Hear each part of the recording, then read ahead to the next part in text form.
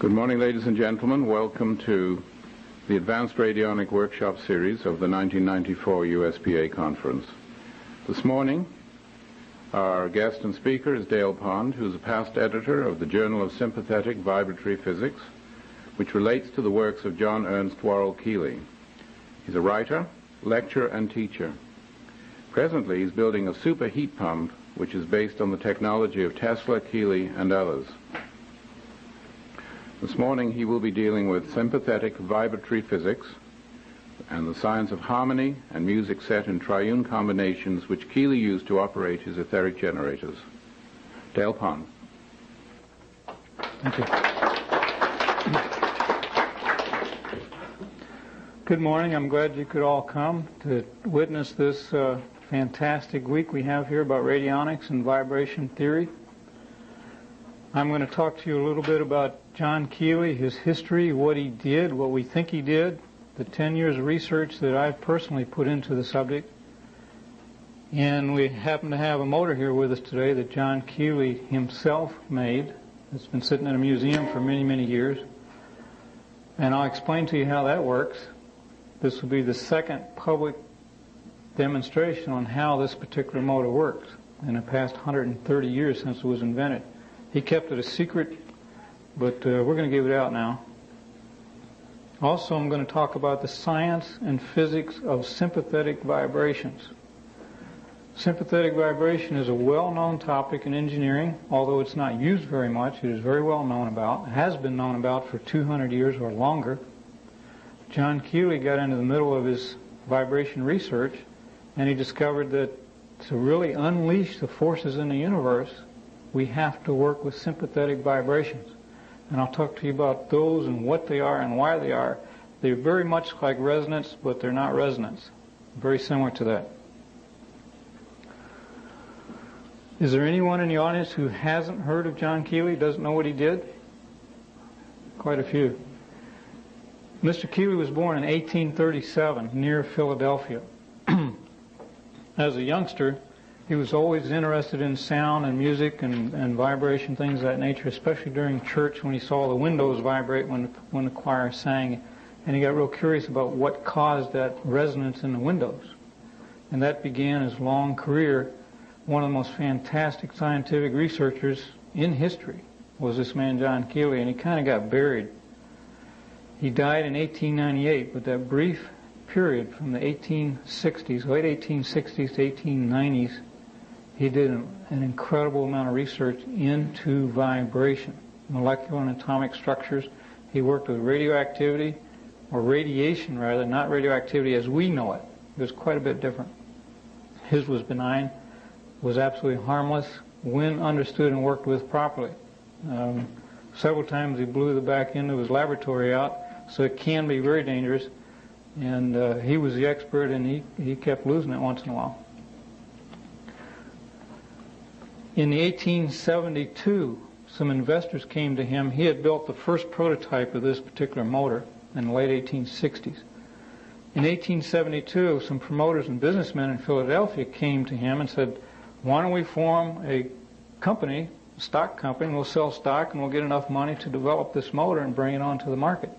So that began the time of the Keely Motor Company business, which has a a very colorful history. Over a period of 10 years or so, they managed to develop $6 million of investments into the development of this motor. However, most of that money went to the guys who had the stock, which was these business people, and Keely never really saw much of it.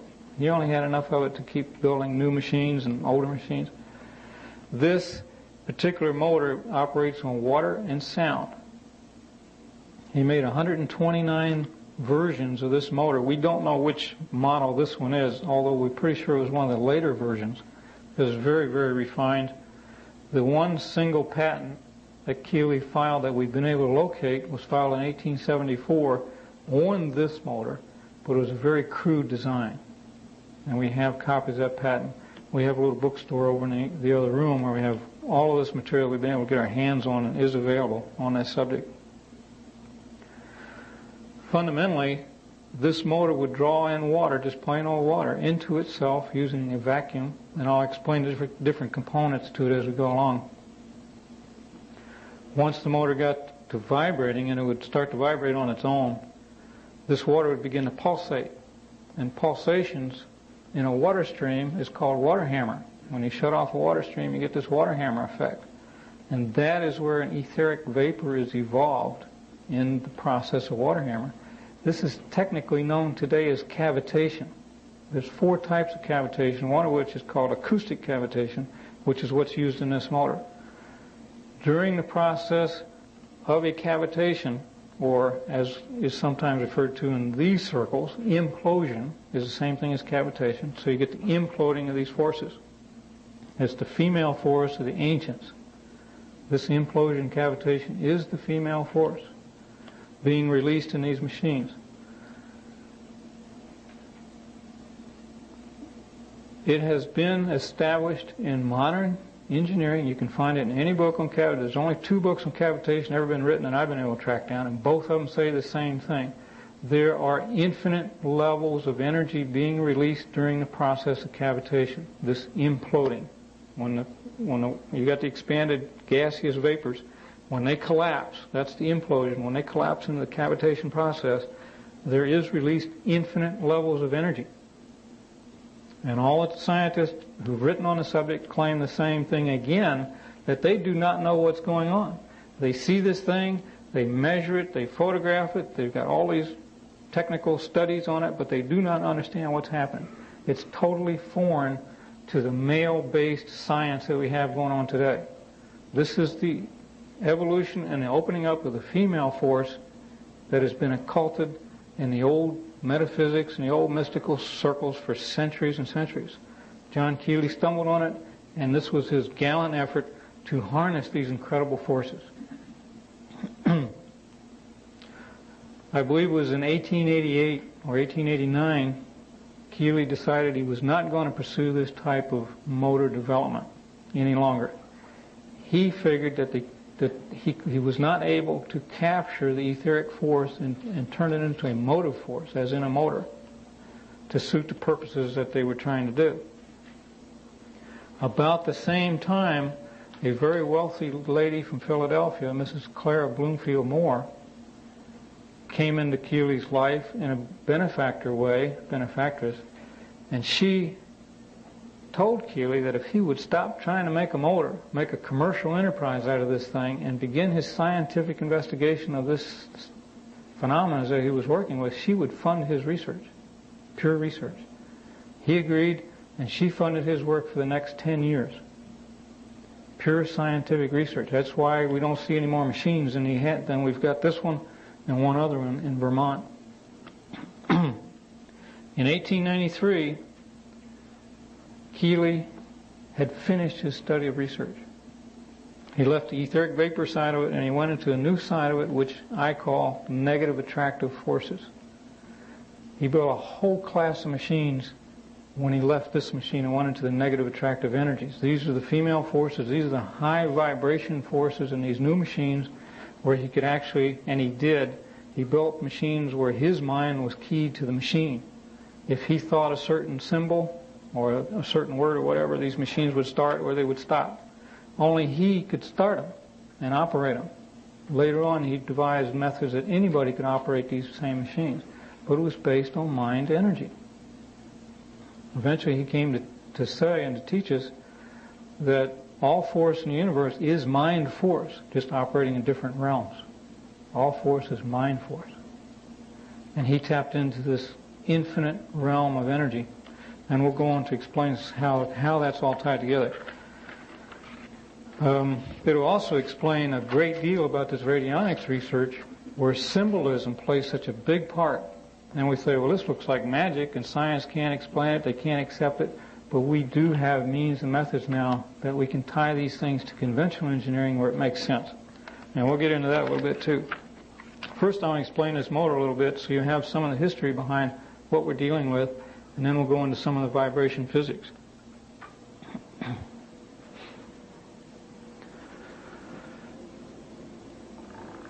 this little... Is that all right? Okay. This motor was given to one of Keely's lawyers in the late 1800s. We assume it was given to him or was part payment or whatever. We don't know exactly. A Mr. Housen. Later on, he donated this to the Franklin Institute in Philadelphia, and it sat in the Franklin Institute for 50 years.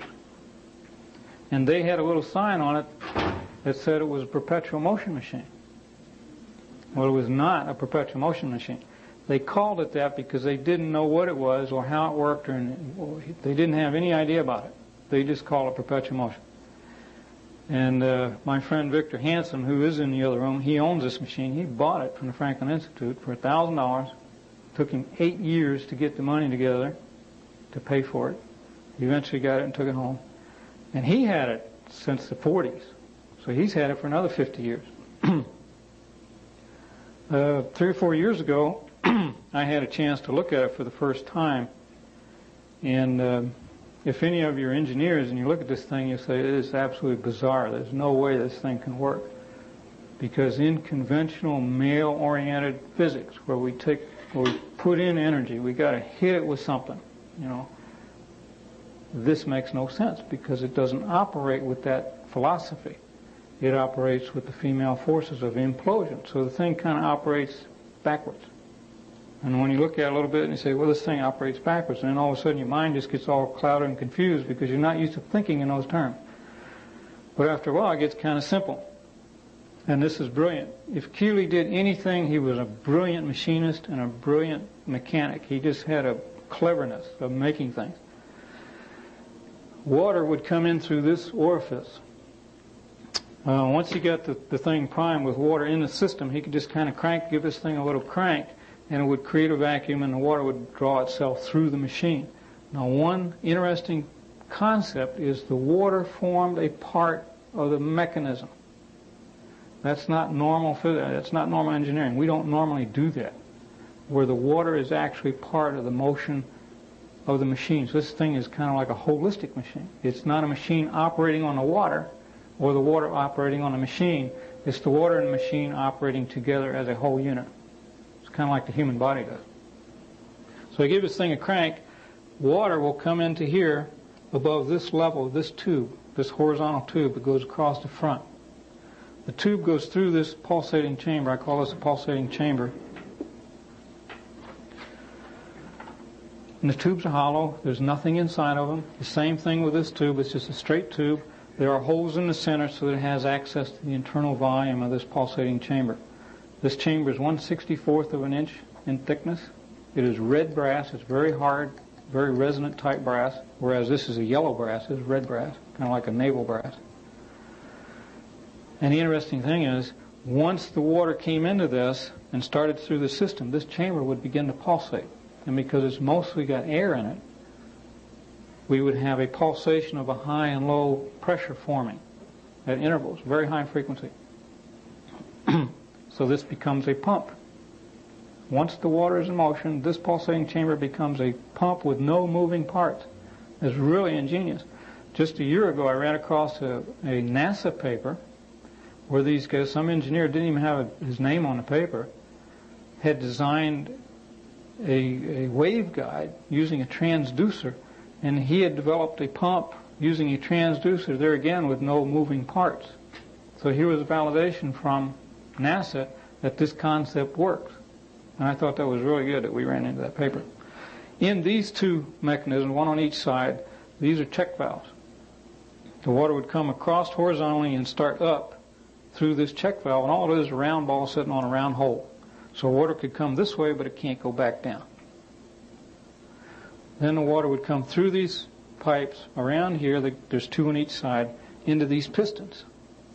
Well, there's two kinds of pistons. This is kind of an, enigma why there's two distinct designs on these pistons. They are not the same. In this left side, my, oh, your right side, we have what we consider a standard piston arrangement. Underneath, we have a bar that goes underneath that pushes a piston up into this, into this larger chamber. The water would come into the top of that cylinder, on top of that piston. And in the end, there's a valve that goes straight through here. It's a rotary valve, so it just rotates. In this case, it just rocks back and forth. So the water would come through that cylinder. When the, when the valve got in the right place, the water would shoot through into this cylinder, pushing this crankshaft and causing it to rotate. It's real simple. However, the things that go on while it's doing all of that is really neat. The pulsations would drive the water past the check valves into a into this cylinder down here, pushing this rod down, which lifted this weight on the far side here. So it would lift this weight on the far side, thereby putting pressure on this water in this cylinder. So here we've got water under tremendous pressure because the injections of the pulsating waves pounding that water. The minute the little rocker arm rocked the valve back and forth, we've got a high velocity stream of water coming past the valve. When you close the valve on high velocity water, what do you get? You get a water hammer. You get that pounding. And water hammer is when you close the faucet in your sink and the pipes bang in your basement. That's water hammer. There's infinite pressure in that. So that pressure, I, I, I did a computer model of what happens in here. And of course, computer model is based on ideal conditions, which this isn't. But I was surprised that it showed within eight cycles, eight cycles of this valve opening and closing, the pressure goes to infinity. Now that's an ideal situation, which this isn't. so we got the high, high speed stream of water coming through the valve system, pushing this piston up, and would cause a little bit of rotation. And on the other side, there's two types of water hammer, by the way. There's upstream and downstream. Water coming into a valve. You shut the valve, that water has a momentum that keeps going against the valve. And the reverberation of this shock wave going back upstream, away from the valve, creates a pocket of negative pressure, low pressure, vacuum, which will collapse as you impose, causing a pounding. On the downstream side, the water wants to keep going, so it creates another vacuum, which collapses and causes another shock wave. So if we time that shock wave back and forth, on either side of the valve. It goes upstream up the pipe and it comes back down. If you open the valve at the same time that reverberation of the shock wave comes back, it will add to the, the original one. It's like a child on a swing. You push a child on a swing. If you push it at the right moment, it'll get bigger and bigger and bigger and bigger.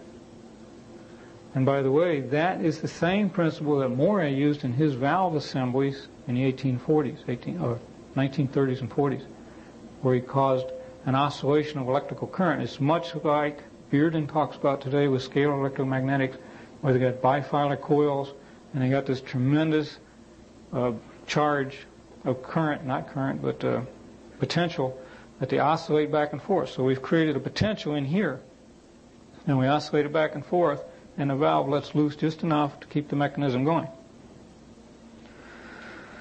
On the other side, there is a slightly different was is fundamentally different thing happening.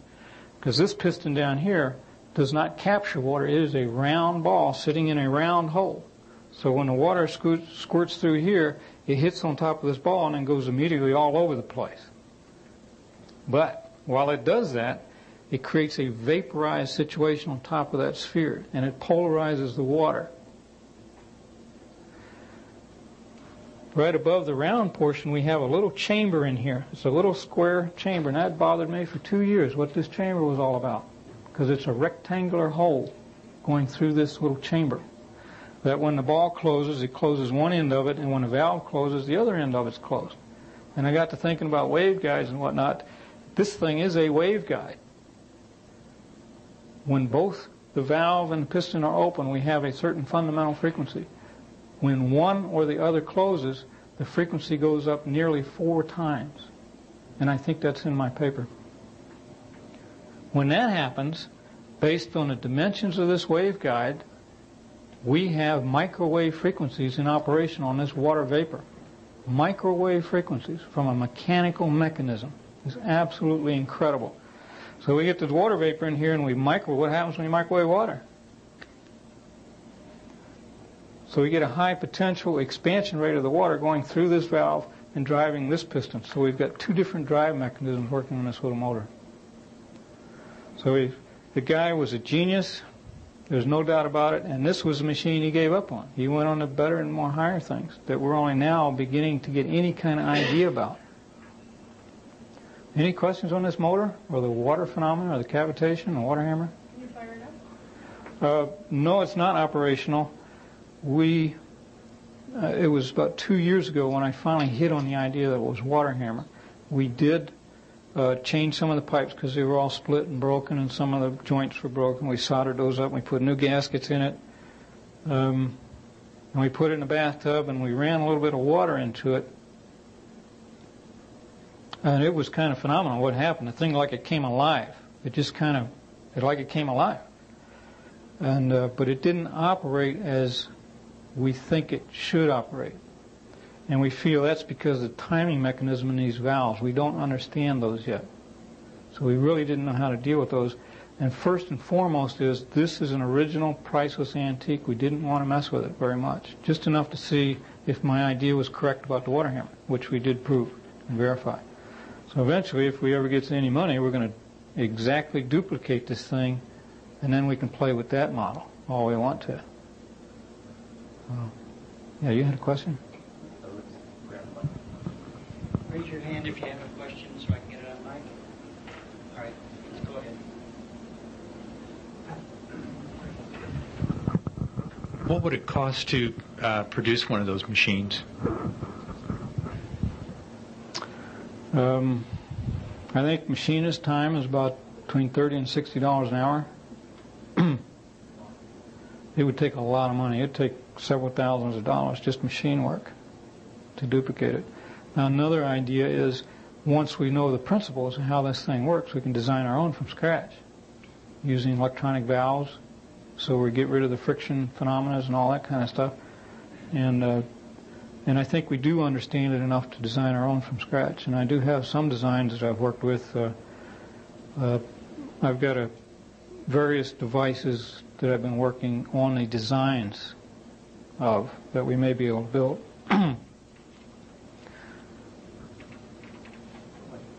yes, sir. Have you heard of the 300 mile submar- 300 mile an hour submarine?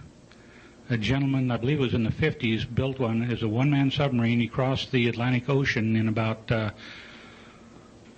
oh 24 hours, something like that. And but I think he was using a turbine. But a turbine could be used could be set up to use the cavitation principle. Uh, each blade of the turbine would be uh, making a cavitation. Okay. That's a very good question. No, I haven't heard of that particular machine or that event. Um, using turbines is very uh, interesting because uh, the Tesla turbine, for instance, where you have the smooth discs, I have a model of it over on, on the workbench over there, on a book table. Um, when it draws water in, if the velocity of that draw exceeds a certain point, the water cavitates, you know, and, you, and it will cease to draw. Any pump will do that, can create that phenomenon. Um, so you can only draw water in at a certain given velocity. However, I believe the same thing happens with air in jet engines. They can cavitate and they'll flame out and all that kind of stuff. But any fluid will do that. Um, so certain designs, like the Schauberger material, seem to indicate that we can supersede, we can increase that ability, or we can push back that threshold of cavitation to a great extent, and thereby increase velocities and, and and attain those things that you're referring to. I believe Keely was doing some of that work too. Although there is another way of, uh, of uh, how do you call it, propelling, propelling a craft or a mechanism that is not male oriented. And we can get into that too. Remind me of that and we'll cross into that. You have a question? Dale, the, uh, is it on? The uh, opposing counterweights, is it, does it, what, what do they do? Is it perhaps that one motor goes for a while and then the other side goes where those counterweights come up and down? That's part of the questions we haven't answered in this particular design. We know that this weight maintains a pressure against this piston. It, this is what maintains the pressure within this cylinder, so that when this valve opens, it has that velocity to the water stream. This one over here maintains this piston closed. So when the water ejects against it, there's a certain resistance to the water stream. And I thought, well, why couldn't we use spring, spring-loaded mechanism instead of these weights? And uh, there is a different reaction to these weights coming down as opposed to a spring mechanism. And also in the 1880s, they didn't have the materials we got today, so he probably couldn't build a good spring like we can today. So there's, there's many different questions. We don't have them all answered. You know, we've got the basic phenomena figured out, but why did he do this and do that, not the other thing? We can only conjecture. And the, the timing, each cylinder has its own timing, and how they work, plus the timing in the timing gears.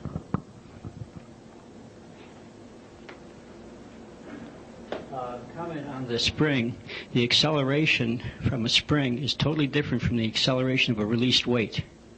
So you wouldn't get an instantaneous switch or as rapid a switch. It would be a more gradual switch. So a spring uh, would have a totally different mechanical phenomenology. And if you're opening and closing a valve, that's probably the, the, the best way.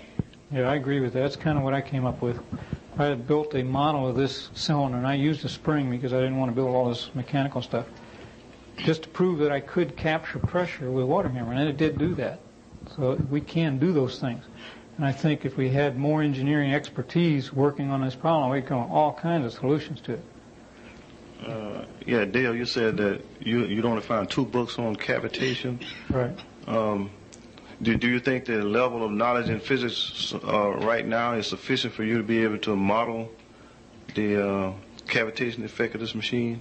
Say, Yeah. for I- example, you think you think that the theoretical uh, development in physics, the level is high enough right now. Do we all the concepts that we need to involve here present in physics sufficiently that we might be able to mathematically model this machine? Easily. You think so? Easily, yeah. This, what goes on in here, once you start to, to model it, is real simple. It is, it is echoes of shock waves and things like that. We know a lot about shock waves. By shock waves, yeah. And water hammer is a study of these shock waves within a given uh, mechanism, you know, water pipes. So that's where the breakdown occurs is when you try and take the mathematical formula for water hammer and apply it to this engine, well, it, it starts breaking down because those are designed for, for water tubing and piping and whatnot, and this isn't. So we've got to modify them to a certain degree to bring them into coincidence with what goes on here.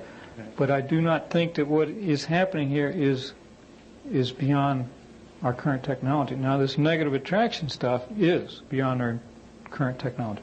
Negative attraction. Could you explain that a little more to negative attraction? Um,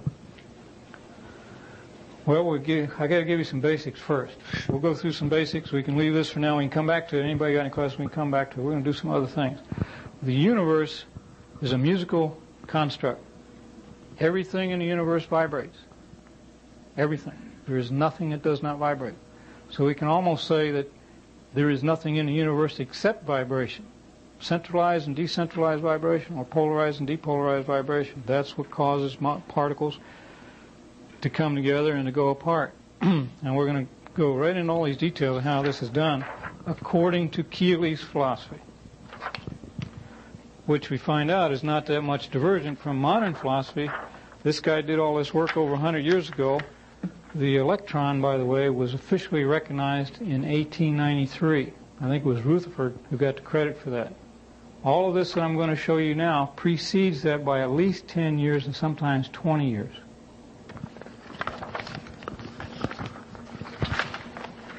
First thing I want to tell you, show you, is what is a vibration. We talk about vibration, we, we teach about it, and yet I'm not sure we really understand what it is.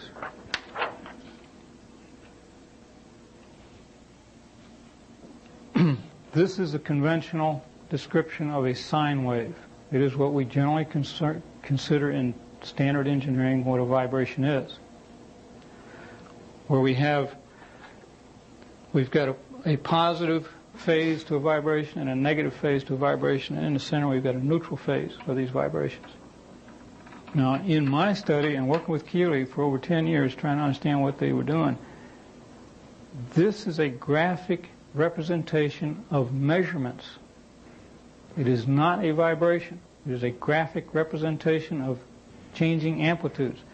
If we have a point source over here for sound and the sound's traveling in this direction, and we've got a microphone at any position in here, the rarefactions and condensations of the, of the air waves, as the sound goes through the air, that's what sound is. It's a rarefaction and compression wave. This is what compresses the particles together of the air, and this is what is when it, we have a rarefaction. Okay? So as it passes the microphone, we get an up and down measurement. The meter goes up and down, up and down, but it doesn't really tell us anything. Okay, so what's happening is we've got an expansion and a contraction. The expanding radiating force, that's what the ancients called a male force. It goes out, it radiates out, it impacts things. It's like the sledgehammer approach we use in physics today. You got to put all this energy into a system to get anything back. And that's only a third of the story. Another third of the story, or almost a whole half of it, is the female side of this vibration. That's this side down here. This is the rarefaction. This is the is the once it expands out, then you get the collapse. The collapse is that female force. What is it that causes this collapse? Here's a whole field of science modern science is ignoring. They don't even acknowledge it. They're just beginning to. They're beginning to suspect that there's something there.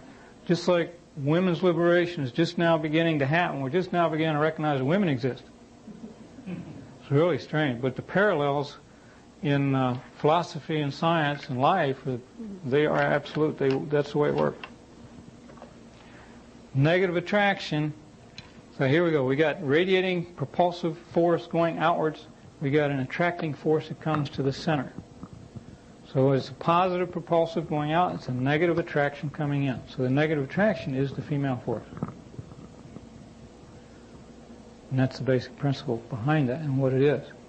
So we got the night side forces, that's negative attractive. The ancients talked, Cayce talked about that quite a bit, the night side forces.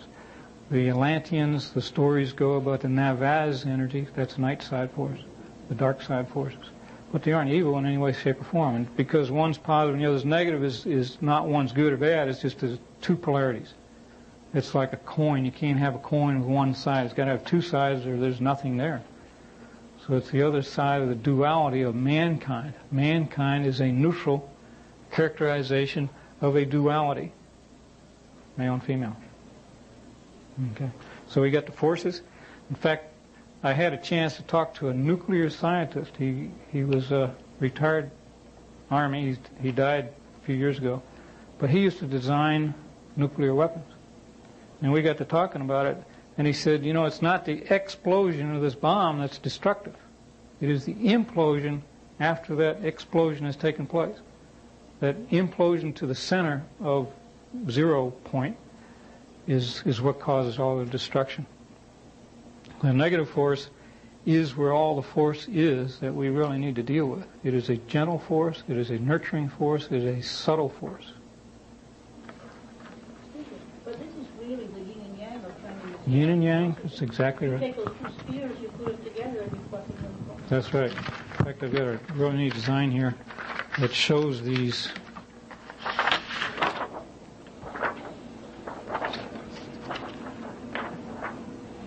these dynamic forces. In this chart, I kind of did a little playing around with it, but over here we can see the three particles within a within this by the way, let's start in the beginning. We're going to get you lost. This is a simple molecule in Keely's morphology, his molecular morphology. This large thing is what he called a simple molecule. It's not a complex molecule like a plastic molecule. It's just a simple molecule within which are three, what he called inner molecules. That's what these three in the center are. Every particle, he said, had the same configuration. It's the internal constructs which are different. Inside each of these is another three, and inside that another three, on down to infinity. And this is the root of this science. This in another chart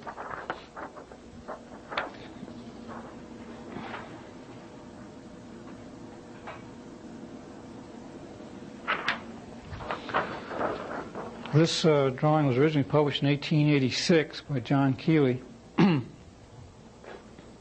uh, this is modified. I just redrew, redrew, this to have this transparency. But we can see that we've got the molecule, the intermolecule, the atom, the inner atom, on down to eight levels. Keely built machinery to investigate these eight levels of material substance.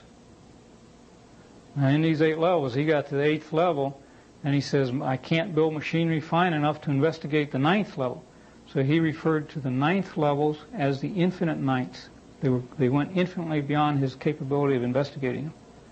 Now, correspondence with today's science, I can show you that. This is a revelation. These are my two best charts. And these are fundamental to understanding this science. We're going right to the to the heart of this one real quick.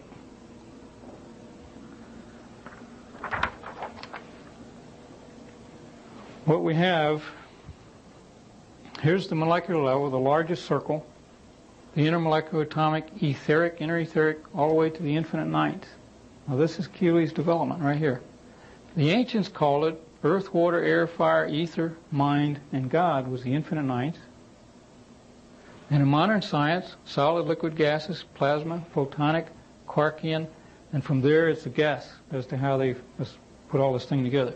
But we know modern quantum mechanics says there's three quarks in a photon, and there's three photons in an electron. That's modern quantum physics, guys.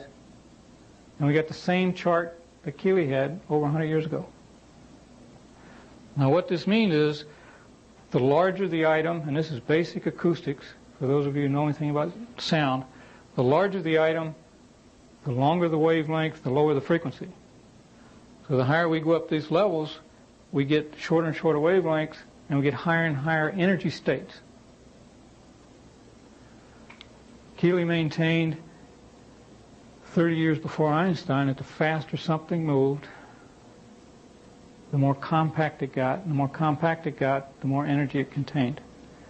When Einstein hit the scene, he plagiarized all these things, and he wrote it like this. That's what he said. Energy equals mass times speed of light squared.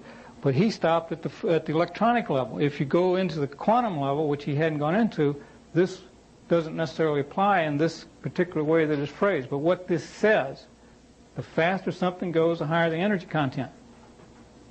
That's what it says. So you get down here, the faster something goes, the greater the energy content.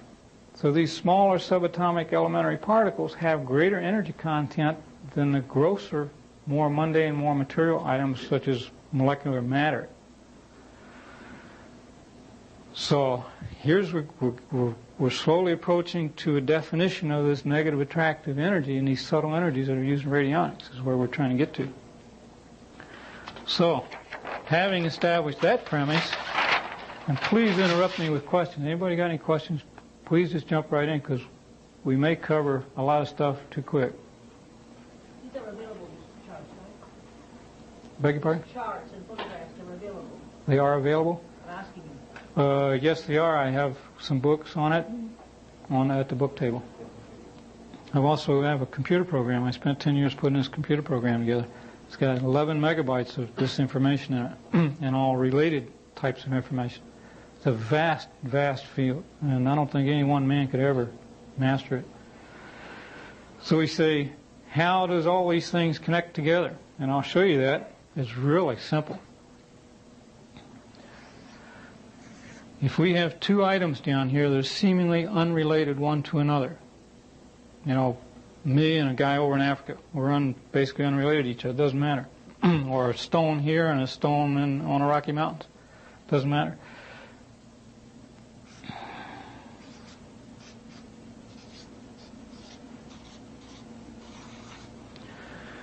These are harmonic progressions, what general engineering considers as harmonic progressions whatever the frequency of this object is, if you double that, you get the harmonic progression or the harmonic series of this object. Okay, engineering uses that every day. It's a real simple concept. Music uses it every day. Um, we could take something over here and we say it's fundamental.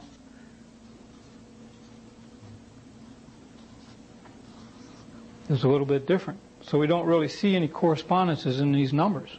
However, basic arithmetic, as is found in music theory, and I want to stress this, it is a musical universe. because everything vibrates and vibrations are controlled or maintained by number, whole numbers, and how they interact with each other. Pythagoras had it answered 2,000 years ago, and he kind of got swept to the side because we had, or we have still today, a partial philosophy. We don't have a holistic viewpoint of nature. Those old philosophers studied many, many, many fields of subjects, especially music and astronomy and arithmetic,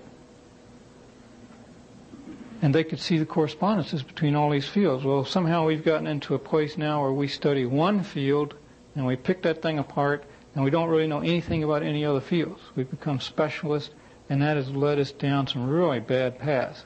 What we're trying to do here is show you how it can be all tied together very simply to the underlying principles that connect it all together. In music, it is maintained, and there's some music experts in here, and I'm not a music expert. I'm just learning like everybody else if we take the aliquot parts of a given frequency, those are the numbers that add up to create a given number.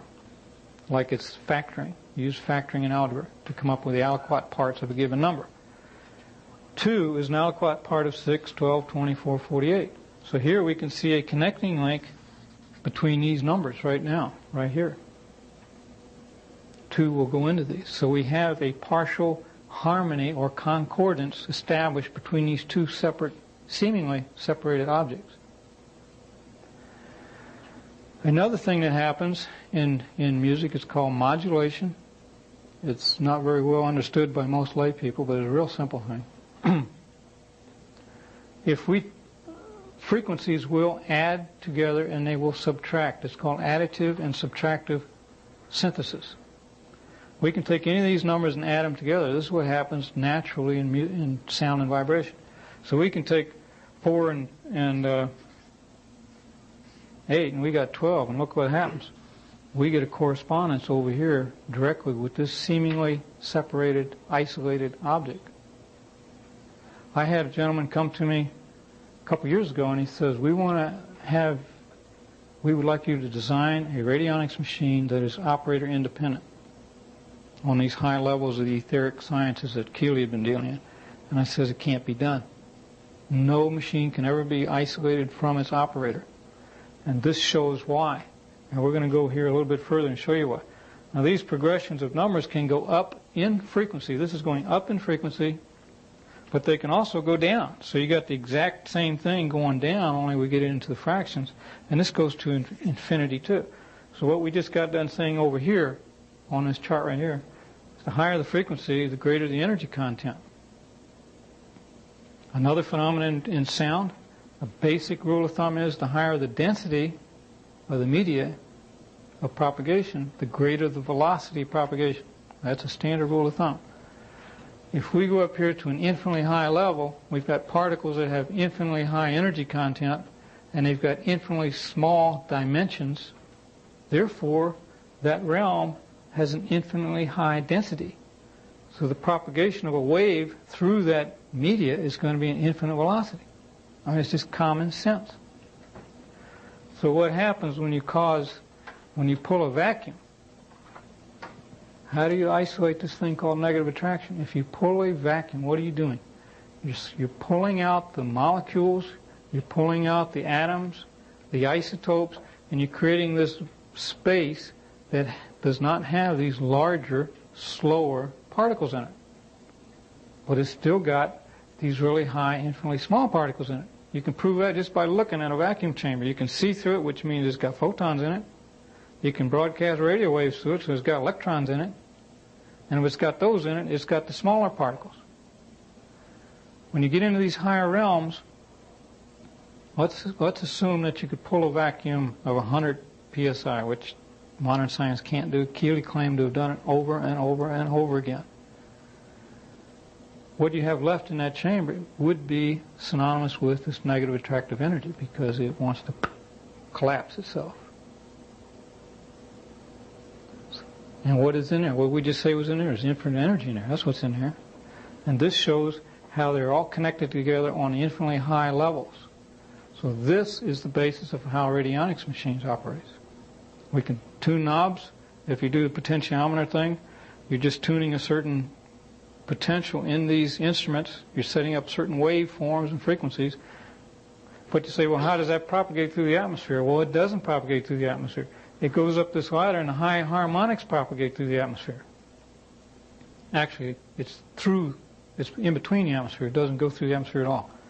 so it goes across to the target that has the same chord of frequencies. I think uh, Sharry Edwards called it signature. That's modern term for it, signature vibrations.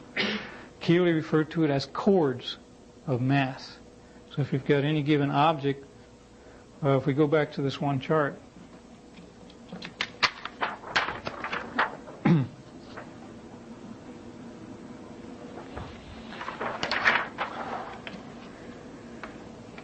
we can see that there's three major particles in here, and then there's three in each of those, each of those, each of those.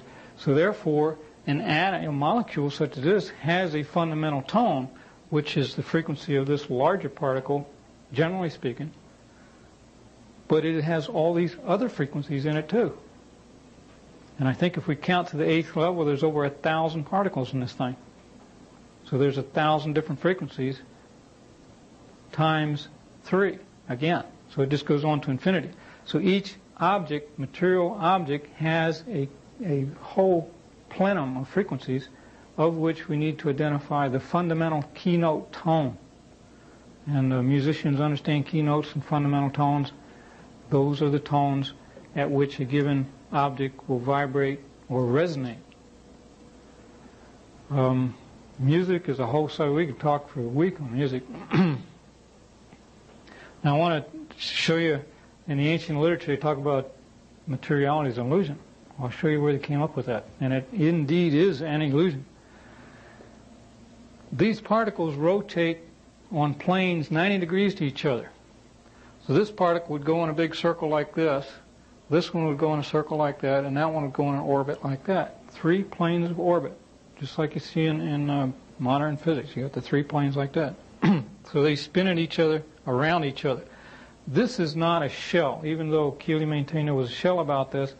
The shell is a construct. There is no thing here.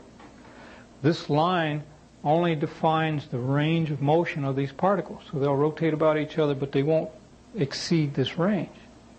So it's like a bicycle wheel. If you spin it real fast, you can't really shove a stick through it.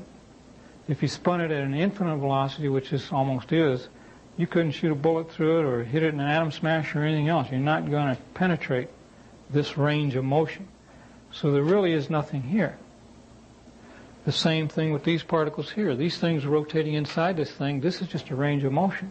There's no object here. There's no hard shell here. On down into the infinite level. So when you get all done, it's like peeling an onion. There's nothing there. There is no thing there. So that's where the ancients got that thing about it's all energy. There's no materiality is an illusion because it is. Now another thing Keely dealt with is kind of extraordinary, and we're just now beginning to get the idea that maybe we can do this too. All the frequencies of this molecule are in harmony with each other. That's like what we got done drawing here. If they're all in harmony with each other, they will tend to stay together. The molecule hold itself together. That's the negative attractive force holding itself together. That's harmony.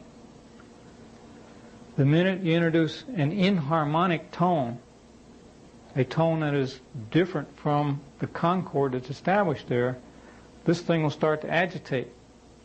It's like if you got a group of people that get along really well together and then somebody comes in and they just start agitating everybody. The, the, the team goes, the team players go, the whole thing starts crumbling apart. Same thing in an orchestra. If everybody's playing in tune, we'll make beautiful music. But you get a guy in there starting to shriek on his oboe or whatever, and the place falls apart. Same thing happens with a molecule. If we took an inharmonic tone and introduced it into the structure, it'll just come apart. We don't have to hit it with a sledgehammer. It'll just come apart. And that's how Keely was able to investigate eight levels, which we can't do today. We're trying to use an atom smasher that costs umpteen billions of dollars, and we're not really doing anything. We're not, we're not making it. Any questions on this thing so far?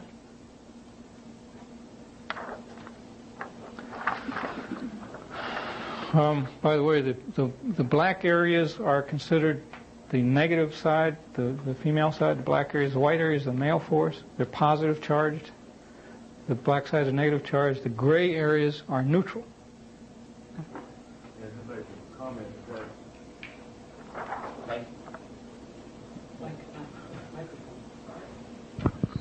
Oh, I'd just like to comment that this this has the characteristics of a fractal. You know, Oh, yes. I don't know if you recognize that or not. Yes. Yeah. Uh, so perhaps it can it can be approached with the mathematical fractals to some degree because uh, that's exactly what a fractal is. No matter how deep deep a level you go to, the patterns just keep repeating themselves over and over again, and it- and so the, the, as the size reduces, the energy goes up. So that's sort of like a reverse fractal in the opposite direction. Yeah. That's exactly right. That's that's one of the basic principles of music, by the way, is how the entire construct, it's like these numbers right here, no matter where you go on this scale, the same thing applies in the same way. So these are the natural fundamental principles through which the universe operates. And once we understand those, like this fractal business, then we'll we'll come. In fact, let me say that right now before we get too far, and I'll get right to you. The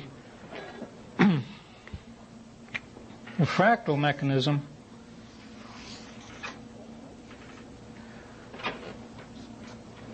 this is this is the basic fractal mechanism the mathematical construct of a fractal a fractal is a mathematical thing okay what we see in the pretty pictures on fractals is what the computer can generate from those numbers well this is what generates the numbers if we have a given input comes in here we work a change on that input and it comes out over here but it's a modified in some way by this modifier. And that's all a fractal is. So we can get in here and we can make A as complicated or whatever we want it to be and do the same thing with a modifier and we just keep going back through that modifier over and over and over and over again. And we get those beautiful patterns. Music does the same thing because we always work with A, B, C, D, E, F, G. No matter what the octave, we can start at the lowest possible octave and we can go up to the highest possible octaves, like in light, 46 or 48 frequency uh, octave, and do that because it's all the same stuff. There is no difference. This, by the way, is the neutral, corresponds to the neutral in these charts where you see the gray. Um, we can get into that too. Yes. I'm not exactly sure how these thoughts are coming. I'm really involved in researching health and the physical body, and I can see where vibrations of negative thoughts, stress, uh, chemically induced negative vibrations could start the spin on the molecule in the body and create the the inharmonic vibrations which result in disease. And that would explain why music therapy and why even singing or doing things for yourself to tune the body, they talk about tuning and mm-hmm. balancing, that would override that program to put it back into a state of harmonic so that they would start flowing and vibrating together in a harmonic state. Is that basically what? That's exactly right. That's exactly right. What where we go into the infinite ninths, or, or the, the eighth level of these particles, is mind energy. Those are the particles associated with mind. Now, Keely's work, and I have these beautiful drawings and charts that Keely left us. I have them over my table. Anybody's welcome to come by and look at them. He left us these incredible charts of the human brain. Now, the brain is the physical mechanism, the physical substance between our ears. The mind is something else.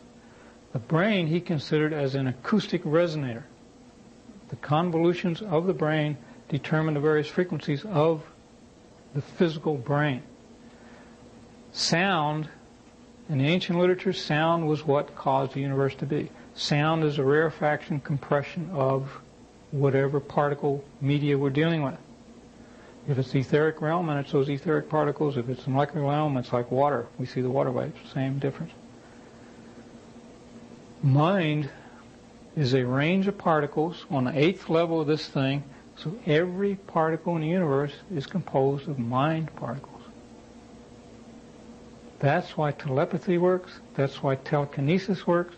Because we can communicate, we can become in sympathy with those particles of that spoon or whatever it is we're bending or working with, and it will do our bidding. In that regard, we are the image of God because we are in touch with this level of energy because that's what we are. So when we meditate and we get real quiet and we cease to cause inharmonic disturbances within our organism, then the purity of that stream of energy can expand and express itself in a more pure form. So yes, you're right. But this shows, Keely's work shows how those things are connected one to the other. Now what I needed to, to say again, and I, and I kind of left this off, what we're talking about is the, the physics of sympathetic vibration. In high school physics, they teach if you have a tuning fork of one frequency over here and you got the tuning fork over here the same tone, you vibrate this one, this one responds.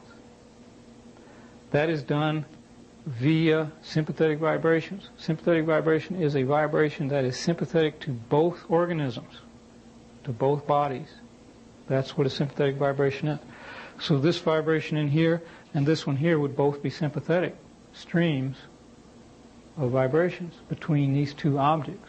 So everything is connected with or by sympathy, a sympathetic vibration. Way back when I began this study, a lady came to me. I was working at the Cayce Foundation in Virginia. And this lady came to me and she says, Well, how does Christ fit into this physics? I didn't know. That was quite a question. I just didn't know. And I began digging into the Cayce material because he talked a lot about Christ and the energies and the patterns and how all that stuff related to each other. And after a while, it finally dawned on me how Christ fits into this and what Christ is in regards to a physical universe. And that is, he was the, sim- the sympathy. He was the love. You know, Cayce said he lived the law, he was the law, he, he personified the law, he taught the law. And I said, what law? You know, I had to dig that out. That was in the book of John. And the book of John explains how Christ was material and then he became spirit with one with the Father and then one with us and then one with the Spirit. I think it's John 16, something like that. But that was a perfect description of what I just told you a little while ago about how the material realm, the molecular realm can become the high spiritual realm, the mind levels and beyond, and how it can become the molecular again. Does that any more questions on that?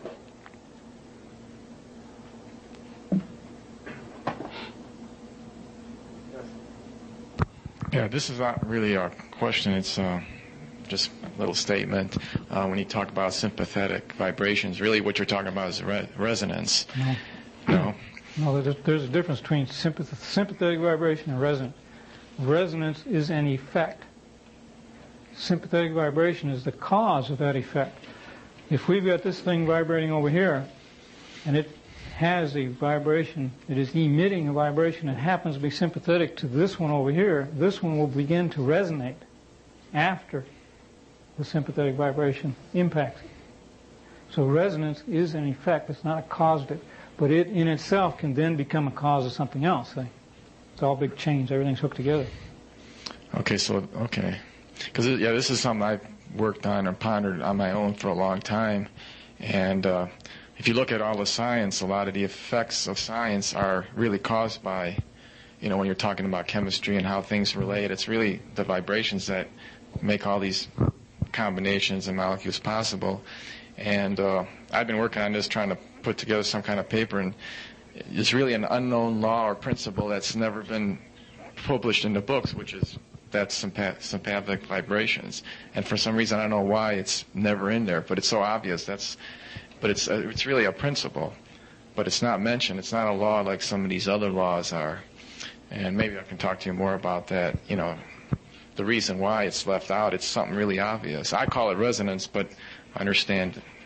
I, I call my, my when I say resonance, I mean both. What you're saying, mm-hmm. the, the two things.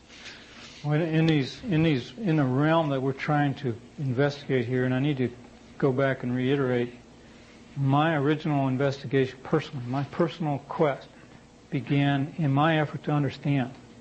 I was living in South America. I was having a hard time with life in general, and I wanted to understand it to an extent that I wasn't a victim of it. You know, I wanted to know more about life and how to deal with it. And as I began studying about cycles, that everything in life operates on cycles, business cycles and whatnot, I began to realize that there's more to this than any of us ever thought.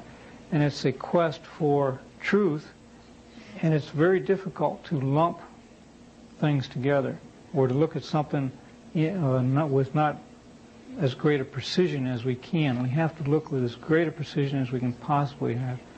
So there is a difference between sympathetic vibration and resonance.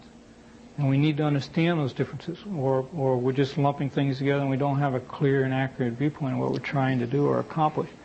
And it's, it's, it took me a long time to be able to say what I just told you very simply, you know, the difference between those two things. Yeah. Things like induction in electrical science. You know, the cause of induction is sympathetic vibration, but they don't look at it like that.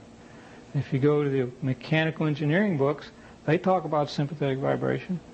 The uh, music talks about it. There's sympathetic instruments. They've been designed for the past 200 years. There's all kinds of things. But they're kind of, it hasn't been a big deal.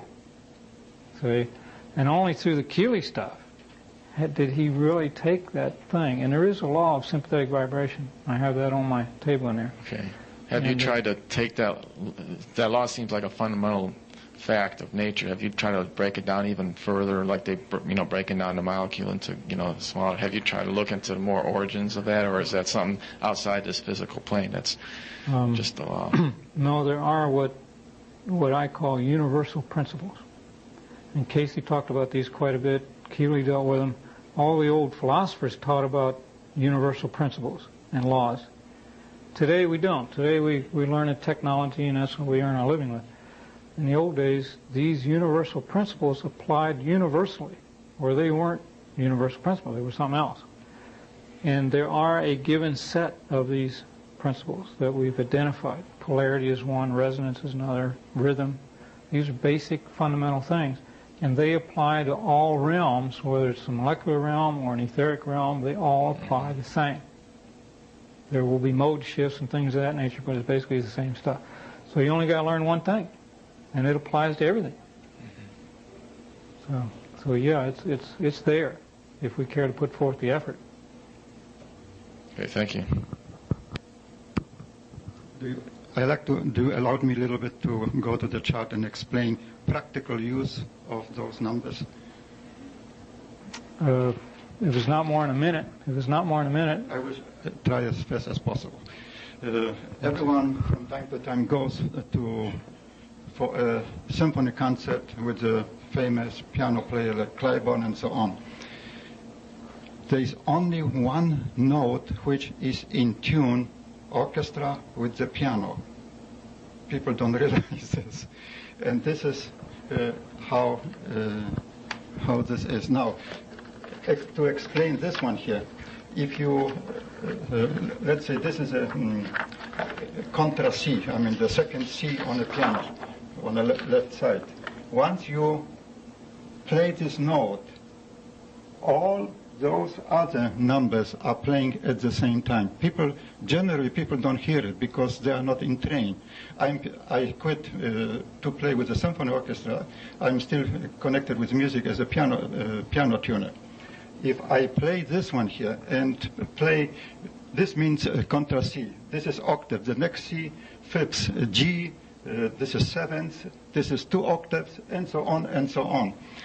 Now, if you play this note and you, you press those uh, equivalent notes, but not playing, just press the keys down, and you play this one here loud, you can hear the whole, all the, all the other so- sounds on a piano. It's very easy to demonstrate. This is true what you, you, are, you, you are talking about. Uh, all other instruments they are built completely different from piano. Up to uh, John Sebastian Bach, on a piano you could play only in three keys. Let's say C, F, one sharp, and one, one flat, F. Uh, um, John Sebastian Bach was smart cat. He likes to compose in all the keys. So they, they call all the piano tuners and uh, they discuss. And this is a uh, time where they uh, introduce so-called temperament tuning, which is not exactly corresponding with, with this site here. We have to compromise to, uh, how does, in, in, in other words, I will explain how to understand. For instance, if the violin plays C, uh, uh, half a tone has nine commas. In Europe, we call commas. I don't know what this equivalent in USA. Also commas? Okay, nine commas. If we play, if violin plays C, C sharp, he is using five commas. In other words, from C sharp to D remains only four. But if he goes down, he plays D, D flat. He is again using five. From D flat to C remains only four. You see where the conflict is. this is what all choirs are doing uh, without instrument. Choirs are doing this. All symphonies or, uh, orchestras are doing this. Even uh, brass instruments are doing this. Now, to, uh, to, to yeah, okay, to, to compromise, to use the piano with the orchestra, we are using completely different uh, system of tuning the piano. We call it temperament. And I said at the beginning, there's only one note which corresponds correctly with the symphony orchestra, the A. The violin plays the, plays the A, and all people are, plays the A on the piano, and all are playing. All other notes are out of tune. Of course, the general public don't hear it because it's so fine, so close. If I go for listen for Cliburn uh, Symphony Orchestra concert with pia- with the piano, I have to do this because it interferes with my listening. It's it's not in tune, but this is the only way to do it. Okay. Thank you. Uh, he made some very good points there that probably went over most people's heads. One thing he said there towards the end that there is discord and harmony. And there is discord innate, naturally found within harmony. We can play these tones in an orchestra. We got a molecule that's sitting there. This thing is moving. it is spinning, it is oscillating, it is vibrating, it's doing all these things, and motion is caused by discord. And this is a little thing that a lot of these New Age people don't yet realize. When things are in balance, there's no motion. When you bring everything into balance, everything into harmony, there is no motion. That's why when you meditate, you find that still center. You become very, very harmonized, very, very balanced. There is no motion. When you introduce the inharmonic, the male force, bam, you got energy, you got motion, you got activity. So inherent in number. Pythagoras said there was only really one number, and that was one. Everything else were derivatives of that, and they are subsets. So one, in one, we have harmony, pure harmony.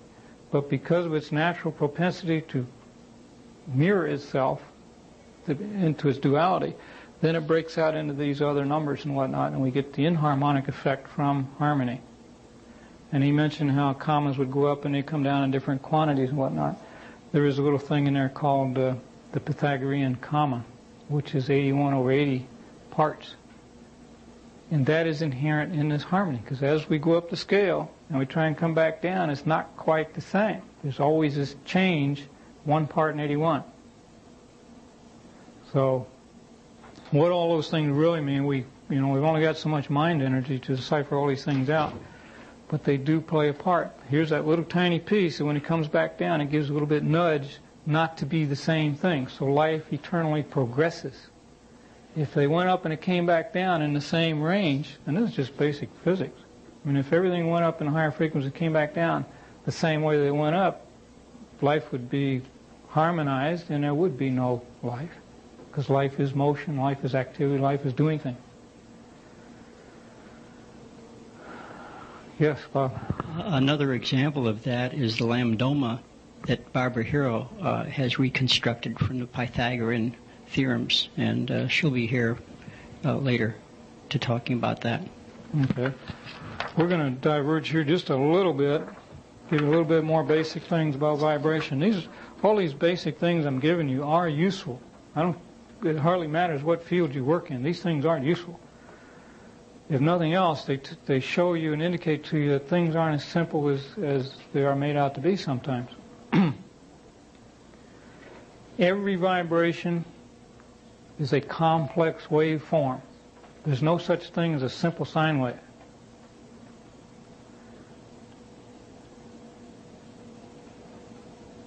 A sine wave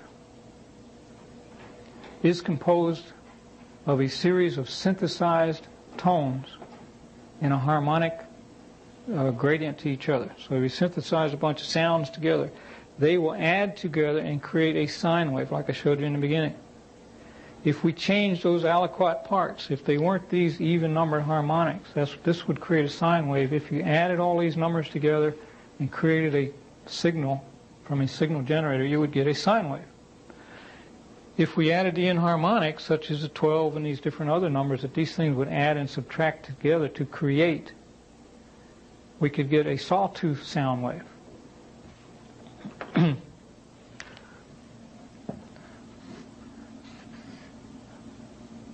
this is a sawtooth.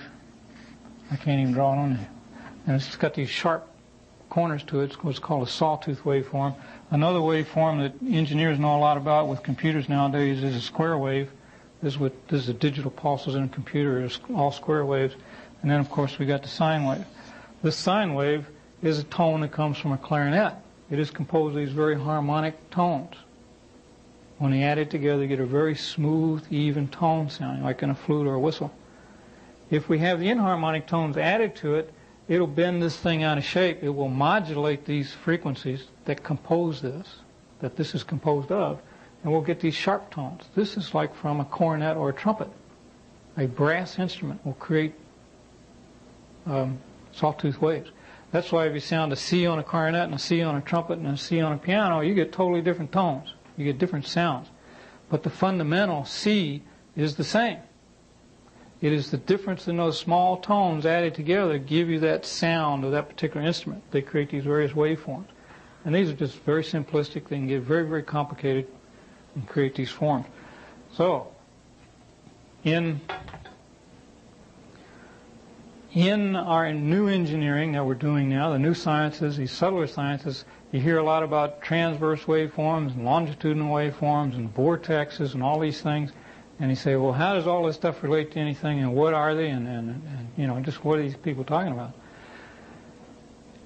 A vibration, if you throw a pebble in a, in a, in a pond, you're going to see ripples going out from it. But if you look real close, you'll see a lot of things going on at the same time. It's not just ripples, but you got to look very carefully. This is what we're talking about in precision. You got to be precise in what's going on. Yes. Um, an idea just came into my mind, and I wonder if it's related to this. I have done electroplating, electroforming, and you have the movement, you know, of electrons through the medium that go from uh, you know, the cathode to the anode. I never remember who is who. Anyway, if there is a jagged form at the cathode where the deposit is supposed to occur, uh, instead of a round form, you are going to have more deposit of the metal on the jagged points than on the smooth form. The same thing happens in the circulatory system at the, at the aorta or at parts of the arteries where there are jagged forms, you have cholesterol deposits. So I wonder if there is a correlation between the smoothness of a wave and how energy reacts with the smoothness of a wave and the jaggedness of a wave. Mm-hmm. Do you, do you have a sense of what I'm saying? Yes, I know what you're saying. That's a very good question. Um, there's there's a number of things that you're you're talking about. First and foremost, you're talking about polarity, interaction of polarities versus waveform. Now, getting back to the waveform first, question part of the question is there's a science developed by I'll remember his name shortly. It's called Sentics. An Australian author developed this, where he measured the waveforms of pressure when people touch one another, especially in healers. And he found that in certain waveforms of pressure, people felt good or they didn't feel good. We get these different reactions from the different waveforms. So yes, waveform does have an effect. Like we were talking about, if you got music that's being that was written for and played by brass instruments like Sousa marches, you're going to react different than if you heard a bunch of flutes or clarinets playing a melody. So the waveforms impact us differently, and we get different physiological results or emotional results from these different waveforms. Now, the other part of your question is on this polarity business. we know in electrical science that electrical energy will seek out the jagged points and it'll avoid hollows. It has, as near as we can figure, and I'll, I'll, par- I'll parenthesize this before I get into it over my head, is the subject of polarity is extremely intricate. Extreme. Anybody who's dealt with another human being of the opposite sex knows how complicated that can get.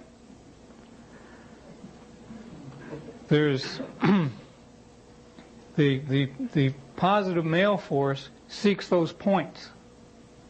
Okay? Female force is the hollow points. The hollow, the hollows. They're not points, the hollows. And as a force radiates outward, there is the opposite and equal reaction, as Newton taught us, that attracts to those points. Now, how and why that, that mechanism particularly does what it does, I do not know. I am constantly thinking about how that works. It's very, very intricate. So, there, yeah, there's two things, two parts to your question.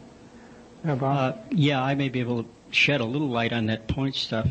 When you do a electrostatic plot of that sharp point, you know, you plot the mm, field, right. then the gradient is exp- uh, much more concentrated at that point, at the sharp point.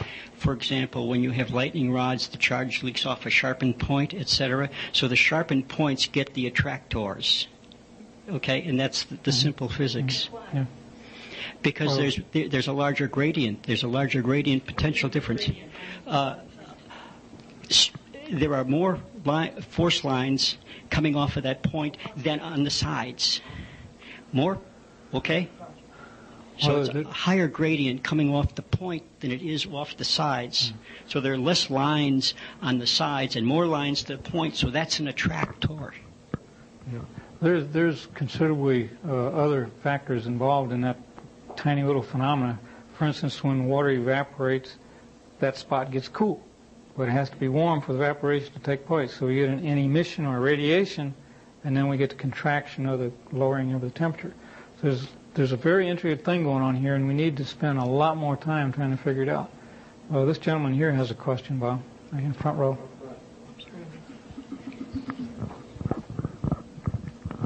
Just simply a, an explanation of the square wave, uh-huh. uh, maybe an instrument a compatible, or uh, not compatible, comparable instrument to a square wave producing? Um, you had brass for the trombones and clarinet was wood. A drum is a pulse wave. A drum is a pulse wave. Percussion is a pulse type deal, where it's uh, it's kind of like this, only it's more compact and pulled together, right? That would be a percussion. I'm thinking, I'm trying to run through my mind. The xylophone keeps coming to mind, but I'm not sure that would be that's accurate well, yeah, in CD players and stuff like that, you, the reproduction is square wave, and there's a couple articles on how people don't feel as harmonic with that after it has been uh, produced that way. There's why subconsciously. That takes, right. There's two reasons why that takes place. Probably a whole lot more. Two I know of. First place in digital sampling, when they sample the music and put it on the discs, a sampling technique is the, the microphone or the sensing device will listen to the music and then stop, and listen to the music and stop, and listen to the music and stop. So that's sampling, and so many times a second. Generally, it's around, I think, 30,000 times a second. Well, what happens between those samplings is lost. But because our ears only react so quickly, we, we don't really hear that, but people who are trained in music, who are very sensitive, can pick that up, and it is not correct music. So the digitally reproduced music is not analog, it's digital, and all that, those high harmonics, like we're talking here, we go up in the high harmonics, even though we aren't aware that we hear them, our body reacts to those. So if a computer samples it and leaves those out, we don't get that. See, we don't get that at all. It's not there. And the other factor is the square wave, as we are saying, it's aliquot constructs that create it for what it is It doesn't have all the other components. So all digital, or nearly all of it, is done with square waves. So there again, we've got a distortion of what the natural phenomena is. And we've got an artificial phenomenon. So computer music is artificial, period. Uh, yeah, so getting back to this tr- triune waveform. Longitudinal wave is a wave that goes out away from its source. It's going straight out away from its source. So we've got, in this particular design, the longitudinal is up and down. So it's straight out, you know, and going backwards too, the same thing.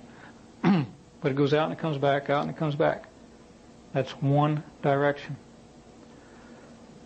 The transverse or shear wave, a lot of these vibrations have different names.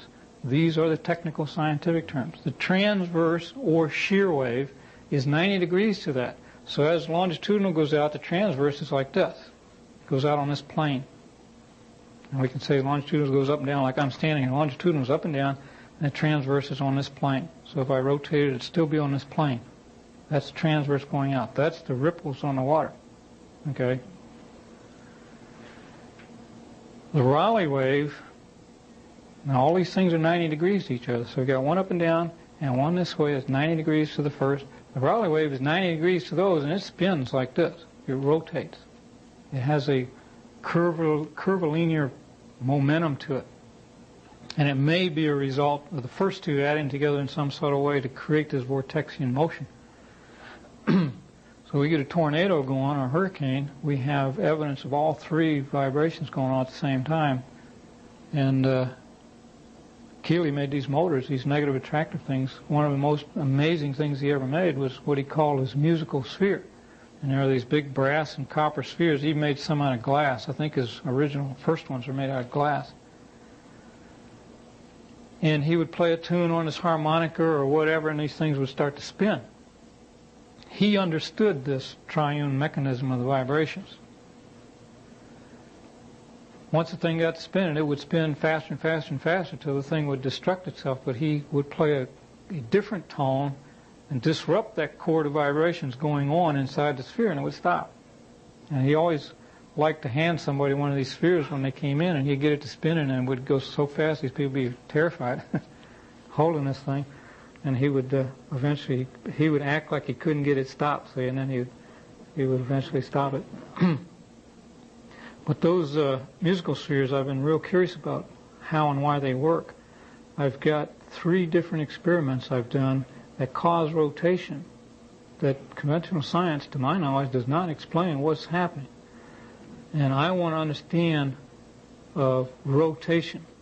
Keely left us a chart, and on what causes rotation is a musical chart. It's full of musical notations and whatnot. We don't yet understand that. But in these three um, experiments, one was done with a radiometer. And a radiometer is just a small little, looks like a light bulb, and you put it in a light on your windowsill, and the thing will spin. Looks like a little windmill. Conventional engineering has about six different definitions of why that does what it does. And I think they're all wrong because if they were right, we'd only have one explanation. Um, and Keely said that if you excite, if you vibrate an atomic substance with an atomic vibration, you get rotation. This was the first experiment I did to prove to myself that Keely was not bogus and I wasn't going to waste the rest of my life working with him.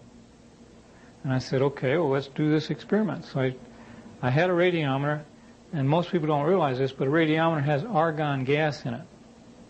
If you take the argon gas out, it won't rotate. so the argon gas, to my interpretation of Keely's work, is an atomic substance. It's not a molecule, it's not a complex atom, it is an atom of argon. You know, in this case, a lot of them. And uh, the only source of vibration I had to me at the time was my microwave oven. So I just took this radiometer and put it in my microwave and turned it on. And I'll tell you something. If you want to be excited, you try it. this thing, the the bulb itself began to flash. brilliant white flashes like a, like you see in on uh, flash bulbs on cameras. This thing will flash so brilliant it'll blind you. And then this thing started to spin, but it didn't just start to spin. It span so fast you couldn't You couldn't see it. It just became a blur, just like that, instant. but you got to be careful. If you leave it in there more than three or four seconds, the uh, the needle that suspends the little windmill turns red hot, white hot, and it melts right through the little glass thing.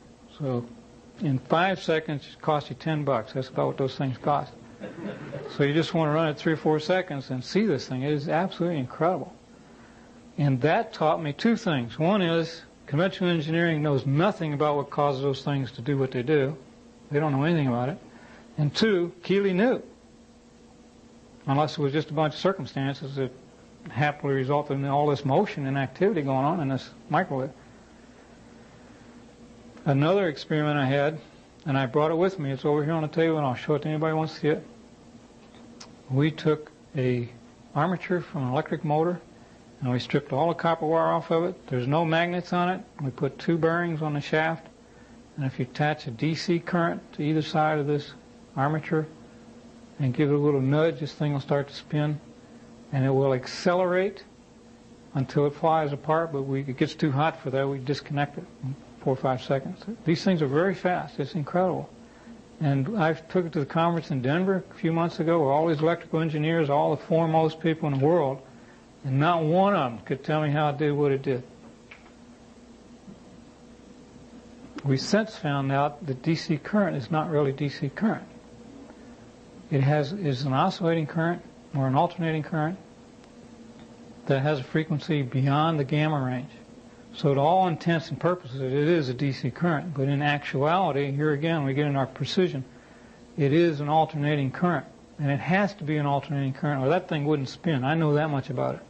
We have to have positive and negative forces going on, or we don't get the Rayleigh wave, the Lamb wave going around in circles. Another question here? Um, I have either read or seen something on in the 40s where they had two counter-rotating fields, and they I don't know how they did this. They made a spacecraft. Somebody did this, and it would disappear, and he could fly around, be conscious inside, and see, but he would not be able to be seen outside. And they did this in New Mexico, I believe, and went 30, 40 miles back and forth in a few seconds. So some of this, when it gets going that fast, just becomes unable for us to see. I think is Well. part of it. Without this, if it, if the material doesn't destroy itself. Yeah. So That's I don't, very- I don't I don't know about the the counter fields how they did that. They were going in different directions, so that DC would be negative and positive in that case. Right. That's a very good question. I've, I've never heard of that particular instance either, but it brings up another aspect of this physics.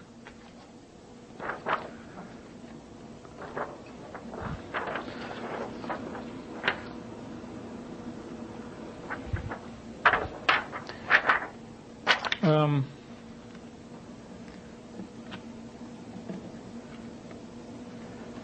if we could maintain the algorithm, uh, Henry was talking about how the fractal resemblance of this molecule exists. If we could maintain that mathematical algorithm, maintain its integrity, and we could increase the velocity of spin on this molecule, it would shrink. It would pop to the next size smaller instantly. That's a quantum leap of quantum physics, by the way. When the energy increases or decreases, we get this release or uh, condensation of energy. if we could do that, this thing would shrink into a subatomic particle level, maintaining its integrity, and guess what? You would be invisible. Now, if you could slow it all down all at the same time, it's like a computer program. If you slow it down all the time, all of a sudden it would pop back into visibility. Pop, No, if you were to shrink it, it would become what? invisible, nonsensible. We, Well, we, that's how you can explain a teleportation of objects. right. Because in a teleportation of object, the visible object has to shrink to the point that it becomes invisible, and then obviously it decelerates and becomes visible again. Pretty much the same, yeah. Um, it's kind of like a Star Trek thing where they uh, transport people. I don't think it's feasible that we could ever dis- disassociate an individual and then reassociate, maybe, you know, who knows what's going to happen next year, but uh, if we could maintain that mathematical integrity of it, it would be fairly a simplistic thing, you know, much simpler. That, by the way, that kind of idea may explain some of this UFO type stuff we've been hearing about. You know, if they could maintain that integrity and shrink to that energy level, all of a sudden velocity of propagation becomes infinite. They could cruise the universe in minutes. Yeah, but teleportation phenomena have been observed all the time. I mean, I have observed them, I experienced them myself. So this Uh-huh. is not just theory. This is, you know, experiential reality. Teleportation is a little bit different in that the gravitic component. Here we get back to another whole aspect of this science. Keely maintained that gravity, magnetism, and electricity were intimately intertwined with each other. Just as I showed the, the picture of the of the uh, vibration, these charts. I got I got to make a statement here. These charts, I keep using the same chart over and over and over again, and I keep using as I talk about one, I talk about the other. And, and this is a holistic science. It's not just take this one thing and this is what it's all about. It takes a certain amount of time and energy to study all these different little things, and then all of a sudden you get the picture.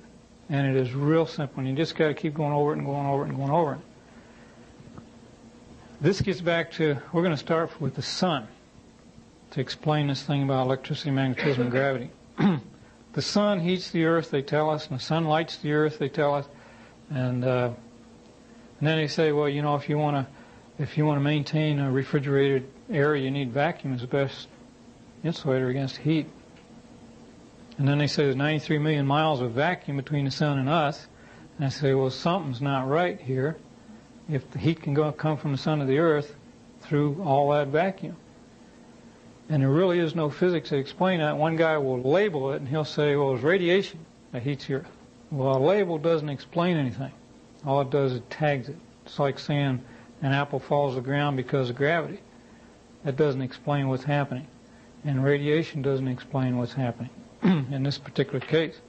Keely had an explanation for this. You know, if there was heat coming from the sun and light coming from the sun as heat and light, interplanetary space would be full of light and it would be hot. And it isn't. It's cold and it's dark. Before we go into that, we're going to have to change tapes. Could we take about a five-minute break? Fine. Fine. Five minute break.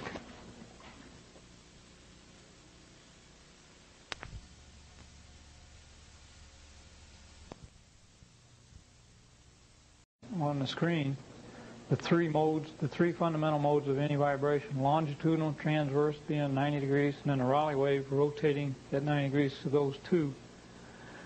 You can't have one without the other two. It's physically impossible. They are intertwined components, one within the other. In the electromagnetic scale of forces, if you start at one hertz down here and you double your frequency every octave going up, as you go through the octaves, I believe it's at the 21st octave you get a mode shift. So it goes from predominance to the longitudinal to predominance to the transverse. And then as you go higher than that, the predominance changes again, probably to the Rayleigh.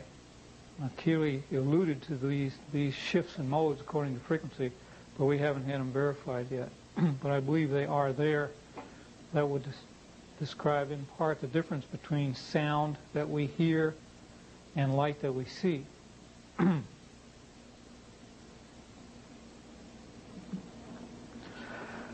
Moving along, oh, part of that, what brought this up was why the sun, how the sun can heat the earth through 93 million miles of vacuum. Keely maintained that a force called the polar forces, the solar celestial triune forces coming from the sun, are balanced in a harmonic fashion. In other words, they're, they're intertwined together concordantly, just as you would a rope that has three braids to it. You twist this rope together, and you can't see any of the three braids until you twist this rope backwards. And then you can start to see the three modes of vibration inherent in the one mode, the one vibration.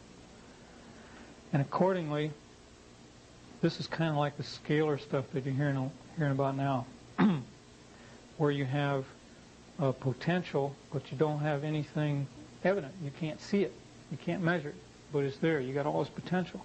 Well, as this energy travels from the sun, intertwined together harmonically, as it is balanced, you know, as we talked uh, talked before, there is no manifestation of this energy. When you're in balance, when you're in harmony, there is no outer manifestation. You can't sense it, you can't measure it, you can't do anything with it, but it is there. And that's another answer to some of the subtle energy business. Energy is all around us in infinite quantities, but it is harmonically bound together in a triune polar flow. Now, if we take a generator that is composed primarily of magnets, and we got a bunch of copper wire in them, and you twist the magnetic currents against each other, you're going to split this triune flow apart. And if we're real clever, we'll put two little copper wires down each side, and electrical current will rush down these wires. But it will only rush down those wires if it can see a place where it can get back together where it came from. So the spark at the end of a wire is not electricity that's been generated. It's electricity that's trying to get back to where it came from. It seeks that place of balance. It will always seek that place of balance. And the spark is the energy going back into a state of balance where it disappears again. So it's not used up. It just gets re um, infolded. It becomes re-emerged where it came from. So if we got this energy streaming from the sun, it is of a given frequency component, frequency range, a waveform. When it strikes a molecule or an atom, which is vibrating, the atom and molecules vibrate at different frequencies. Those frequencies combine with the frequencies of the radiant energy from the sun and demodulates it to a lower frequency range to where we can see it. It splits it apart. That is called refraction. That's why you can't see light. You can see me and I can see you, but you can't see anything between us. You can't see light. So that's the undifferentiated light of the ancients. That's the undifferentiated whole white light. When it strikes a molecule and atom, it refracts, splits it into various subtle ranges of frequencies, which now we get to rainbow. And that explains how all that stuff happened. So we've got this current coming from the sun. Keely said it was magnetic, electrical, and gra- gravity, or gravitic as he called it. And this, I got a chart here.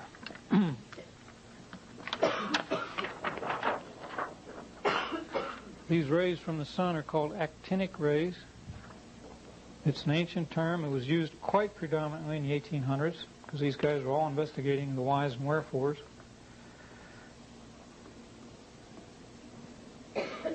A funny, a funny thing about spheres, spheres will focalize impacting energy to their centers people will do the same thing. If we think of people as, as centralized vibrating forces, we tend to absorb things that impact to us, whether it's a sound or somebody speaking or whatever.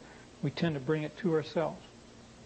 We'll take that into ourselves eternally, like a piece of knowledge, like I'm conveying to you, and then you chew it up or whatever, and then you'll re-radiate it back out to somebody else. You'll tell them about different things that you learned. So the sun and the planets all do the same thing, only they do it just a little bit different. So the energy radiating from the sun, first it picks it up from the grand central sun of the universe, and then it'll contract it to itself, focalize it to its center, and then re-radiate it back out to the Earth, and then the Earth will do that again, and each molecule on the Earth does the same thing. Now there is a law in philosophical physics, the natural philosophy of the, of the 1800s, to which Keely said was the one fundamental law in the universe, to which all other laws are subservient. And it's called the law of assimilation, the cosmical law of assimilation. And that's what you're seeing in operation here. The contracting inward, the focalizing, the bringing inward, and then the re-radiating back out. Everything else is subservient to that phenomenon. So we have centers, infinitely tiny centers, which aren't really there materially speaking, but it is about these centers which coalesce or form or aggregate these other forces and become an integral unit of itself. So that's where each one of us humans are too. The neutral center of us is our soul. evidence through the solar plexus, et cetera, et cetera, et cetera. In the martial arts, they teach us that's where the center is, and we try and centralize our forces, our attention, our will, and become very quiet and very still. The natural attributes of that neutral center is that quietness.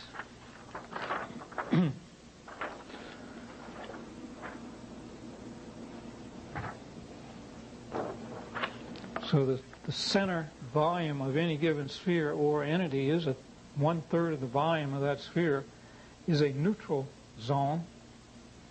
On the outer side, we got the peripheral forces, as we spoke before. The male forces, the radiating forces, tend to seek the outside peripheral of it, and the female forces towards the centers. Um, without the neutral center in there, male and female forces, the positive and negative forces, cannot associate properly. Give you a perfect example analogy in human activity. And I really like this analogy. It's really kind of neat. We've all seen couples ice skating, especially in the Olympics. A very, very beautiful sight. Here's a male and female, man and woman, doing an extraordinarily beautiful, harmonious thing. so we got the male and the female acting in concert to create a concordant, harmonious spectacle. The neutral is etheric. The neutral is their ideal. What is it they are trying to attain? If they have the same ideal, the same etheric neutral governing principle, then you've got this concordance, this harmony of motion and activity. It's when that ideal is lost that you got some of the problems we see today. They don't have a common ideal. So the neutral is both positive and negative. It can be either. It can become predominantly positive predominantly male or vice versa female. So the neutral can become both. And yet it is one of the greatest enigmas of this Keely stuff. What exactly is this neutral thing? So we've got the energy coming in from the sun, attracted towards the center of the earth, going into this neutral zone and being converted. It's like platinum does in the chemical industry. Platinum converts elements from one to another, and yet it itself remains the same, unchanged. This is sound, starting to sound like the old philosopher's stone of the ancient times. So the platinum embodies the neutral forces, the neutral force, or the neutral condition, I think we'd rather say. and in the old, uh, the old books, like Genesis, for instance, if we look at Genesis from a vibratory standpoint, it becomes like a tech manual. It says how the etheric, the infinite energy levels, the void, remember how we talked about all the energy was in the void? There was God, that was everything, is held latent in that void. And how that became demodulated lower and lower and lower frequencies by stages as it would be in music to become male and female forces and then the neutral force, which would be God in the center of Adam and Eve. And it's kind of neat when you start looking at some of this ancient literature from these fundamental universal principles. Those guys knew what they were talking about. But if, if you transport yourself back 2,000 years ago, there was no English word for vibration. There was no English word for electricity or any of these things. So they had to convey it to us in uh, allegorical form or, or metaphors or whatever to get the essence or the, the insight to what they were trying to tell us. And the Masons had it, and the Rosicrucians had it, and the, the Indian Vedas and all those people had all this stuff. And all we're doing is rediscovering something that's been there all this time.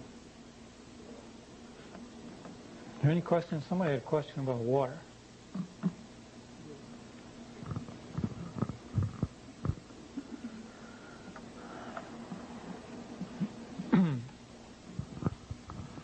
I was reading some Keely material, and um, it mentioned an interesting experiment where you take a uh, sound vibration around 40,000 cycles per second, uh, which you could generate, say, by a piezo ceramic disc, and put it in or near uh, a cup of water, uh, it'll start to vibrate. And if you increase the power enough, it'll turn into pure energy.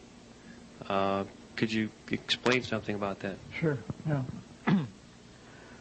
the in some of this literature that we have, uh, it's reported that John Keely like in this particular motor, he could take water and vibrate it at a given frequency, and it would it would disassociate the water. Well, it's kind of neat. Um, in one of the articles, it mentions that he found that the frequency of 42,800 cycles per second would be sufficient to disassociate water. Disassociate means break water into water vapor. So you break the large molecule of water into smaller molecules of water vapor.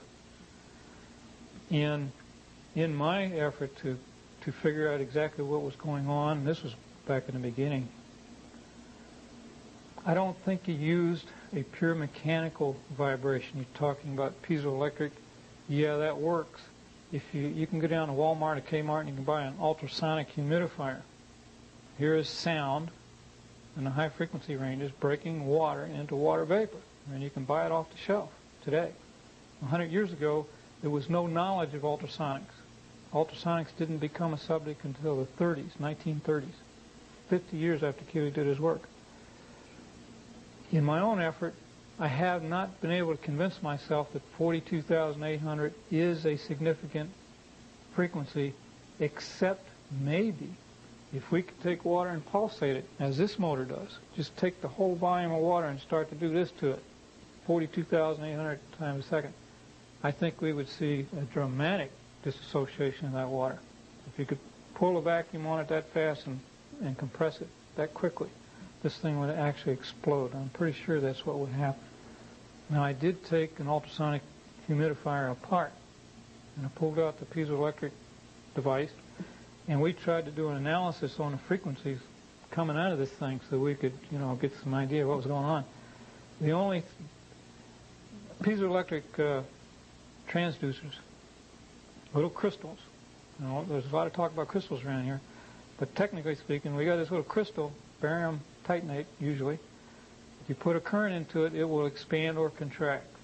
And so you put a current in there the many times you want it to expand and contract, and this thing will do it. However, it creates many, many, many, many modes of vibration. There are many frequencies coming out of this transducer. So we need to identify the fundamental. We were not able, with the crummy equipment we had, to identify the fundamental of this crystal. And I also understand that as the frequencies change, you know, use higher or lower frequencies, you get different fundamentals and you get different modes. So we were not able to analyze this crystal. We did learn, however, that they were using a lot of power. They were putting a lot of power through this crystal. And if you look at some of Keely's stuff, he didn't use power like that. Where, where we use power today with the old sledgehammer male approach, let's just put more power in it to get an effect. He used art, and he tuned these machines as though they were musical instruments, which is what they were. He would fine tune every component, every piece of the machine until it sounded as though it were a musical instrument. And then he could, he could zero in on these various frequencies. So whatever the chord was that disassociated water, he built that into his machines and he could just sound a harmonica or whatever and bingo, he would have all this etheric vapor. That's, that, by the way, if you go from solid or liquid or water, which is large molecules, down to water vapor, which is smaller molecules, and then you break that down, and you break that down, you get into Keely's etheric vapor. And this etheric vapor has extraordinary properties. And that's how he derived from it. He, that is how he built, he created his etheric vapors. It was through the sound operating on water. And he, he took it down eight levels if anyone could replicate those types of experiments and get that etheric vapor to where they could use it, I think we would find a revolution in our technology today, and a veritable revolution in what we could do. I have a question in the back. Yes. Have you seen uh, Andrija Puharich's paper on using these methods to uh, disassociate water for uh, fuel? Yes, I have. He, Puharich, um, quite a quite a character, this Andrija Puharich. He designed and patented and built an acoustic disassociating device that was made of special ceramic material. They put water into it. I don't know exactly how it all worked. Um, this water would disassociate to the hydrogen oxygen level, and he, he made an attempt to use the hydrogen as a fuel. It was hydrogen on demand device. Quite extraordinary. This was 12, 15 years ago that he did this. It, uh, I don't think anything ever became of it. I think someone could probably dig that out and, and really do something with it. Do you have a question? It sounds like there might be some correlation with what's going on here and what Hahnemann did to get the homeopathic remedies to be as vital as they were when there was less and less of what there was. Is it when, do you know? Yeah, good question. Really good question. If, I got to say something first. This stuff is so simple. you know, we tend to confuse everything. That's what we want to do. If it's not difficult and hard to understand, there's probably nothing to it. That's what they teach us in school. The higher you go in your grades, the tougher it gets, and then you get your degree because you went through all this agony to learn this thing so that you can charge money for it. I don't think that's correct. I don't think it's true at all. I think it's exactly the opposite. If we could simplify and we could see clearly with our hearts,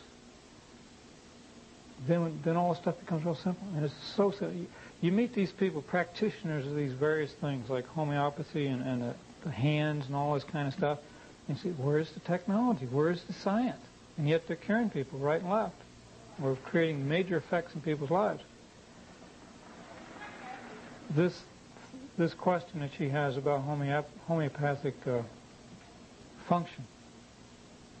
What's going on in this room is a perfect demonstration of the homeopathic phenomenon. You guys are a bunch of molecules in the water. I am a single molecule of something else.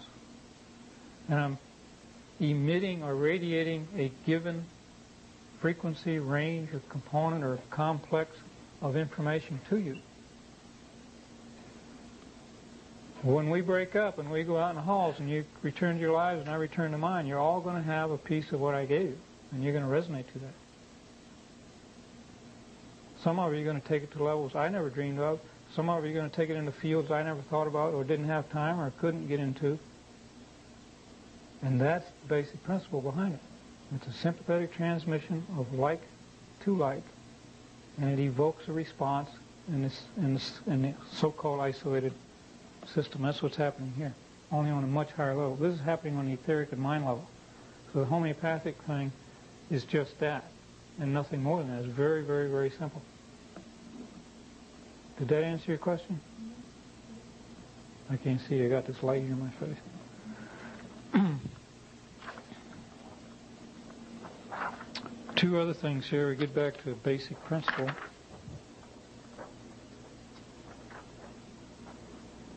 Difference between a vibration and an oscillation.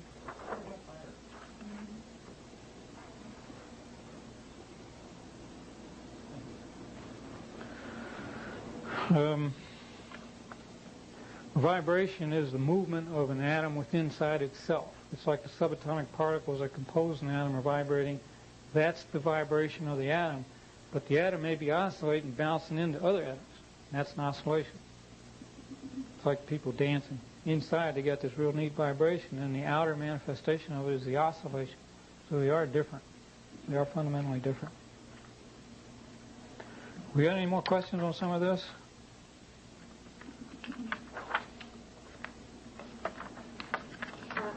Familiar with the work of Rudolf Steiner. Yes. Because Steiner, I guess through clairvoyant insights, whatever, or also natural observation, arrived to the conclusion that the life force expresses its flow in vortexes. Mm-hmm.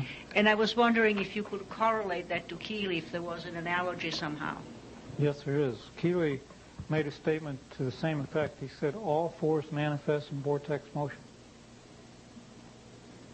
And at first glimpse, when you first look at that statement, you say, well, that's absurd because lasers don't vortex and all this other kind of stuff. And you got to remember that the information we have on Keely is scraps, bits and pieces that we found in newspaper articles, magazine articles.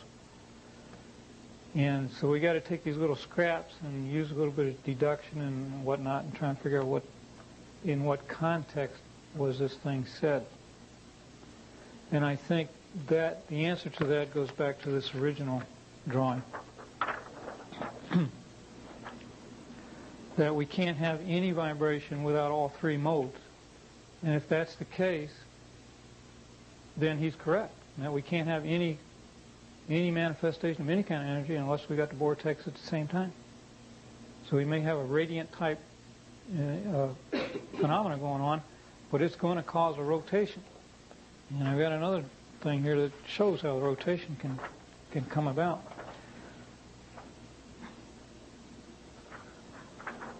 This is this reflects uh, wave motion in water. If you had a stick sitting on the water and the water is vib- uh, got a wave motion in the water, the stick doesn't go anywhere. It just goes up and down, up and down, up and down. The same thing with the atom or the molecules of the water itself. It looks like the molecules of the water are moving along with the wave front, but that's not true. The, the molecules of the water are actually rotating. So here we've got a polarization effect causing rotation again. When we've got compression on the water, we get a, a, rise in the water altitude, which is the wave that we see.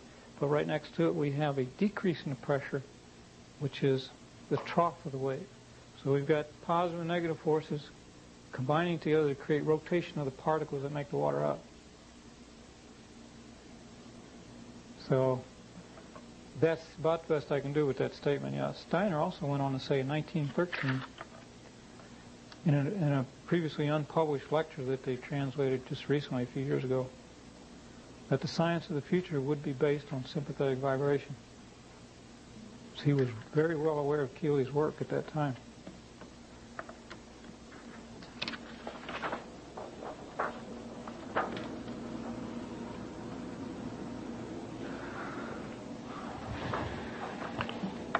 This is just to demonstrate some of the modern morphology ideas on how the molecules and atoms are put together. The uh, molecules made of atoms, atoms are made of electrons, electrons are made of photons, and photons are made out of quarks. That's exactly Keely's definition. 20 years before they admitted an electron existed. So would you say that was clairvoyant? He was definitely exceedingly very clairvoyant. I mean, how else would this man or any man get the knowledge that he had? There's, there's just no, there's no explanation for it. He took a he took a little bit of science, a little bit of mathematics, and he far exceeded anything we can even dream of today, much less do it. We're just we're just struggling. We're just struggling along. Any more questions on some things? Getting back to the mind control machines, I want to be skipping around now because I kind of lose my place here a little bit. mind control machines. We've got radionic machines that are nothing other than drawings on a piece of paper, and we can get effects from these devices. Um, what's going on? You know, how can we treat a photograph and have an effect take place miles away from this from the source? You know, what's the what's the what's the principle here? What's happening? If we go back to what Keely was saying about the brain being an acoustic resonator. Now, acoustics, a sound wave isn't just something we can hear. A sound wave can exist at any frequency. A sound wave is a compression wave, okay, compression rarefaction. So we can go up to these infinitely high levels of frequencies in the gamma range frequencies, light frequencies, and we still maintain compression rarefaction with many, many, you know, very exceedingly high frequency. The brain, the physical gray matter of the brain with its convolutions and its really neat shape that it has, if we look at it as an acoustic resonator, we say, okay, well, we got this thing, and every one, every brain is different.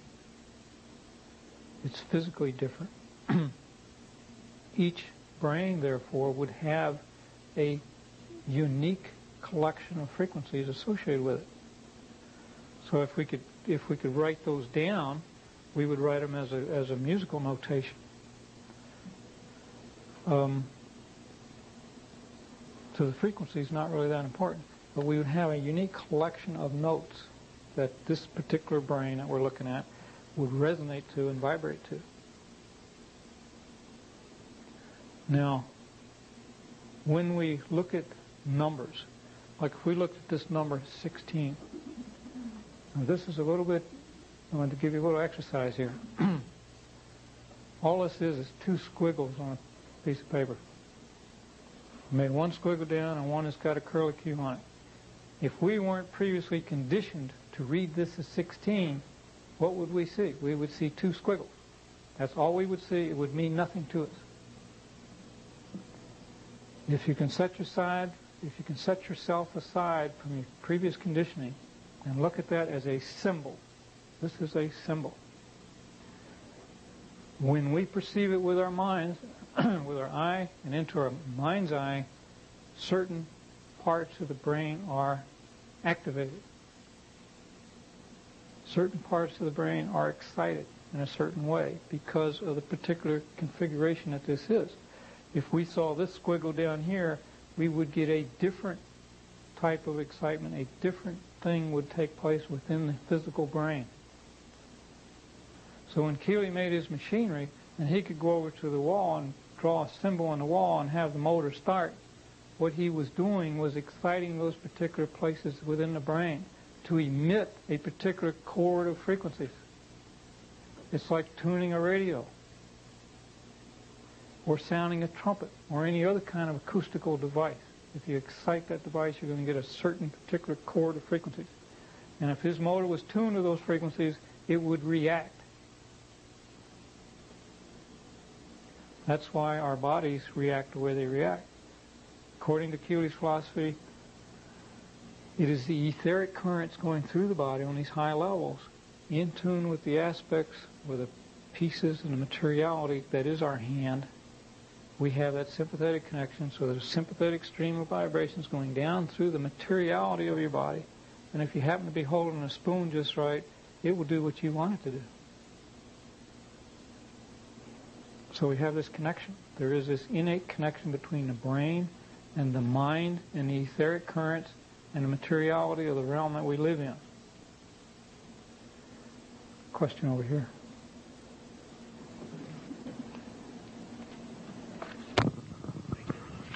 How can you uh, consciously tune into that vibration as far as with your mind and other objects?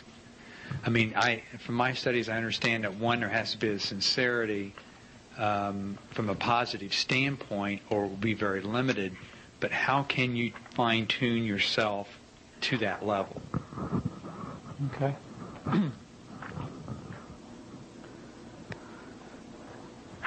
Keep going back to this chart. That chart and this, this other chart are absolutely fundamental to understanding this. Um,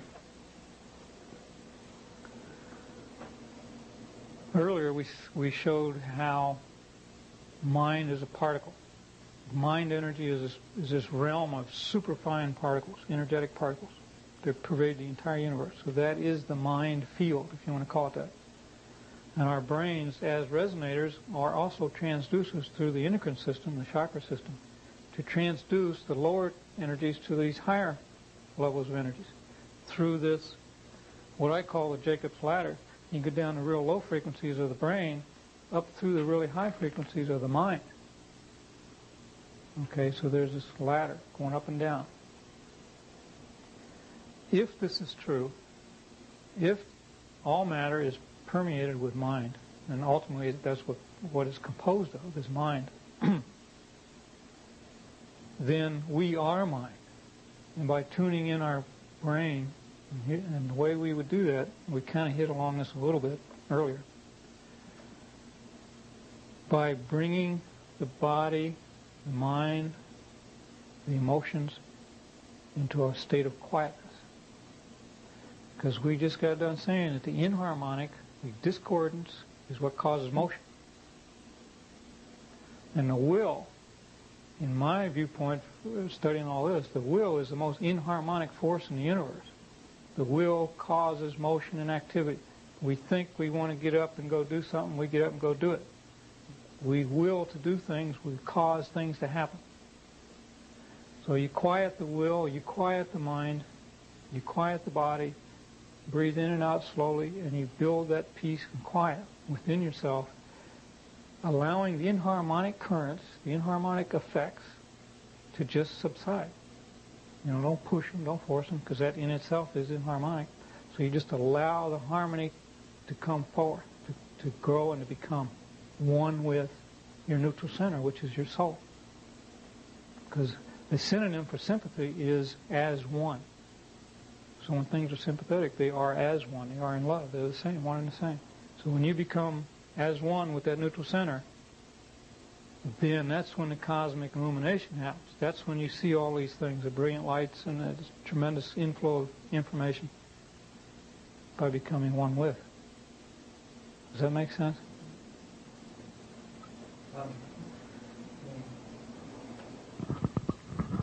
When I used to think about um, becoming in one with a certain object or a thing, like an animal, I used to think when you're talking about not using your will or your brain, I used to think at that animal, and now I think with that animal because it is being coercive to those elements when you when you're trying to do any kind of a control thing.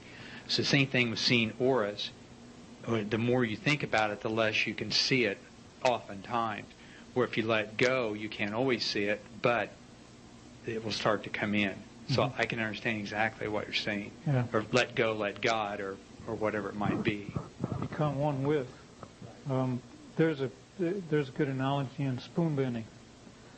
We some guy came over to the house one day and he, he was bending spoons and we got all interested in it and pursued that a little bit. And if you haven't learned how to bend a spoon and actually done it, do it. It is one of the most amazing experiences you can have. In the olden days, and anything that happened before today is the olden days, we considered mind over matter. You know, we could do telekinesis and all that stuff, mind over matter. Well, that's the male approach. Take the female approach. It's mind in matter. That's the difference. Because if you can use your Zen approach, like you're talking, and just approach these things and allow the mind to flow and become one with this spoon or whatever it is you're dealing with, it'll do what you want.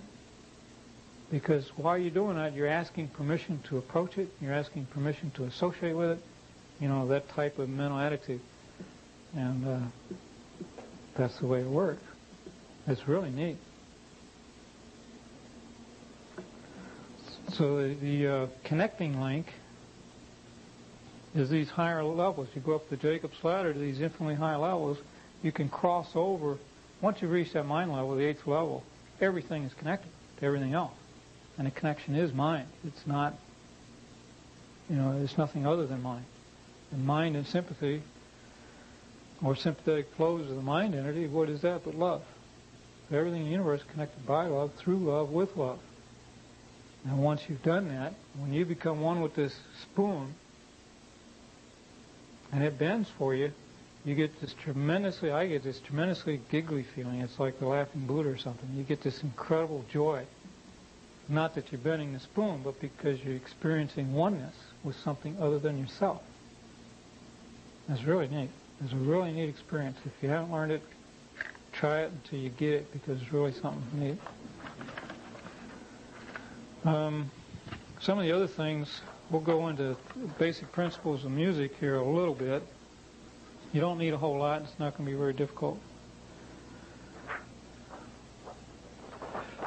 Uh, first and foremost is relativity. Not Einstein's relativity, although he was touching all over this thing, but relativity meaning one thing has a value as opposed to another thing having another value. Each individual is a sacred individual, in, integral unto themselves. And this is part of what's wrong with society. We treat everybody as numbers, but they're not numbers. You know, a, a leaf on a tree is a whole leaf. It was created as a leaf. That leaf has substance, has existence, and it is has a certain amount of sacredness that it was created by, you know, these forces. So it may be smaller or slightly deformed or whatever, but it is still a leaf, integral unto itself. Each of us are the same ways. We can't lump people together.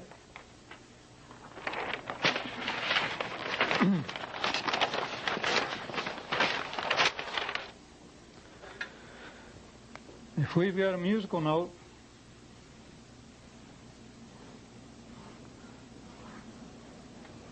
to say at C, which I think it is, not being an expert in music. In Pythagorean, uh, in a Pythagorean scale, this can be either 256 or 512, whatever you want it to be, it doesn't matter. But in a Pythagorean scale, this is considered, we'll just call it 512. Okay? That's the frequency or cycles per second of this musical note. If we go up to the next octave of it, that doubles the frequency. If we've got other notes here and anywhere along here, I don't have them at the tip of my tongue, so not, it doesn't matter. This is kind of like an algebra shorthand. Most of us in this room know something about algebra. You say A equals 512 and 2A equals 1024. It's that simple. So no matter what we do to these numbers, the relationship stays the same. A is, or in this case, C is always C, D is always D, or F and G are always F and G. And what constitutes those as notes is their ratio, one to another. So a ratio would be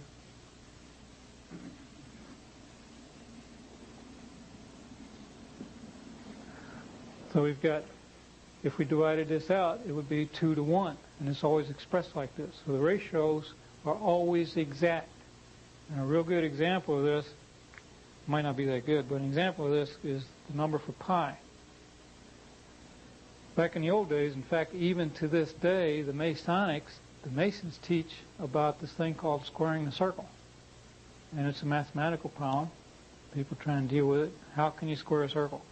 All the mathematicians who've looked at it say you can't square a circle. It is not physically possible to do that. However, that's because they're comparing apples and oranges, is why they can't do it. The circumference is not the same thing as a radius. And you can't divide one into the other because they're not the same thing. They're two different things. and we found out there, in the 1860s, a man named John Parker, a mathematician, squared the circle wrote a book on it called Quadrature of the Circle. It's an extraordinary work. We've republished it. An engineer friend of mine took that book and rewrote it so that we could all understand it, what was going on. And we found out that the value for pi is wrong in the sixth decimal place. you start digging around this old science books and you start finding out a lot of stuff we accept as truth just might not be exactly what we think it is.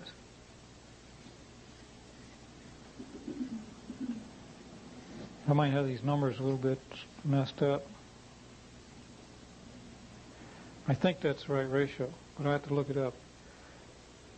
These are the numbers we came out with. Circumference is this many parts and radius is this many parts. If you divide that into that, you get pi, but it's a little bit different beginning in the sixth decimal place.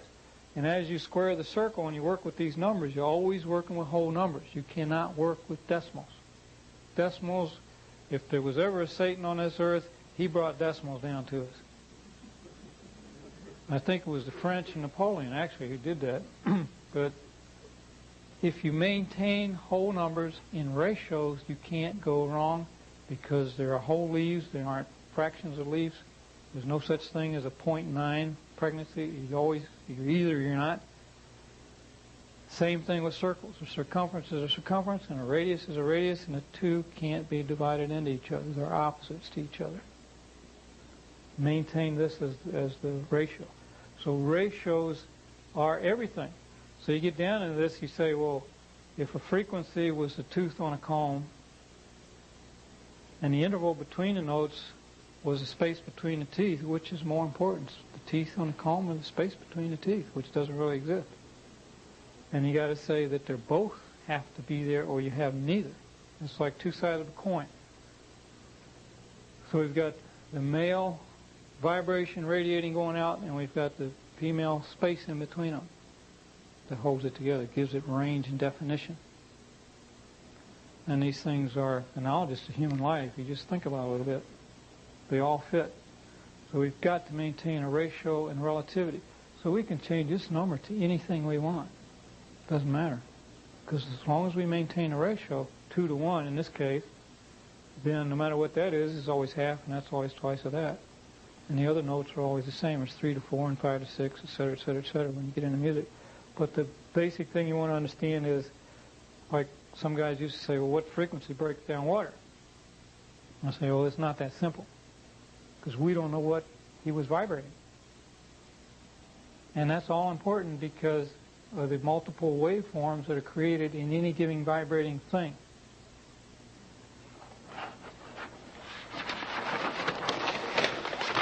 So we go back to this, keeping in mind the, thing of relativity. So it doesn't matter what this fundamental tone is. This is your fundamental. As long as you maintain these ratios and numbers, they will always stay the same in relation to each other. It doesn't matter. It does not matter. Any questions on that? Relativity and say something about Einstein. Um, I don't really know what happened in those days, but Einstein published his paper in 1905, I think it was. If you go back in the old literature, the old scientific literature, you'll see direct references to the theory of relativity in 1860s and the 1870s. And all that Einstein did was apparently read these old books, rewrote it into a form that was conventional for those for 1905, and then he got a lot of press. They didn't accept him anyway for 30 years. So, and I found that in my research, if you want to know what's going on, and, and if you really want to understand physics or music or sound or any of this stuff, you got to go prior to 1900. Somehow or for some reason, the books and the subjects that were written about since the 1900s do not contain this old stuff. You have to go back to 1895 and previous.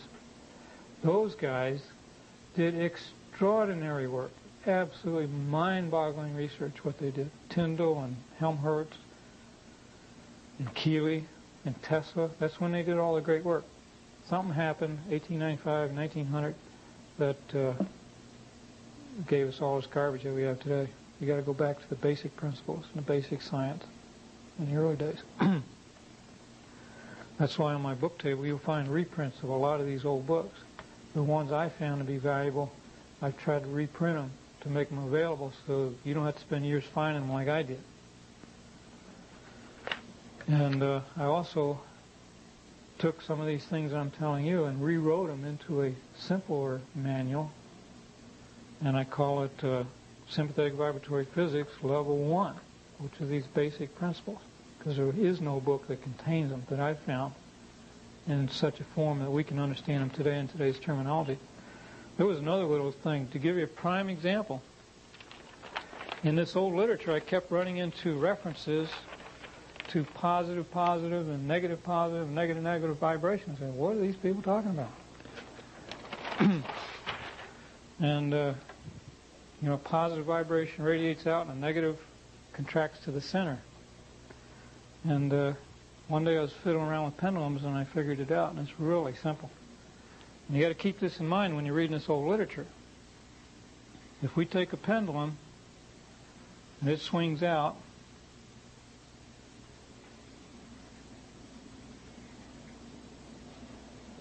we're going to divide this thing.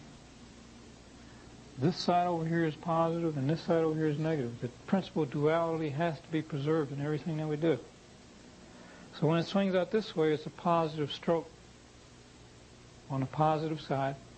So this is a positive, positive phase. So we'll just put P in here instead of writing it all out. When it starts to stroke back, this is a positive, negative phase. Coming over here, we've got a negative positive because it's on a negative side, moving outward, radiating outward. And then when it goes back in, we've got the negative, negative phase. So these old guys, not all of them did this because they varied. Some of these did it different. When they said 42,800, they're probably saying 84, 400. Because to them, this pendulum swing, which we regard today as a single vibration, was two vibrations. And when you think about it, when it expands out and contracts as a vibration, expands and contracts, that's one vibration. Only it's the opposite phase of the next vibration, which is expands out and contracts this way. So it's really neat. These guys had a beautiful inherent insight into some of these things in the old days. But we've become so simplistic in our technology that, you know, we hit or miss it. We got lots of power and energy. We can put lots of energy in a system and make it do what we want. But in those days, they didn't have that. They had to use art. And when you're building a musical instrument, you got to use art to get the sound out of it when you just blow in or strike it. subtle energies in, major effects out. And he can only do that through art, which is right brain. Any questions on that one? Question over here. Should the numbers on the left be reversed? negative, negative on the bottom? Yeah, you could do that. Sure. You could do that. It. Uh, I just wrote them over no no particular location. I'm not trying to be too technical here, but um, the one on the negative side, as it swings out, the bottom one, would that be po- or negative, negative? Right. Yeah. Negative, negative. Negative, negative, negative, negative coming in because It the negative be- side is contracting, is a contractile force, the attractive force towards the center. Negative attracts to the center. Positive goes out. So when it goes out, it's positive. When it goes out, it's positive. Okay, I understand. All right, thanks for clarifying. Okay.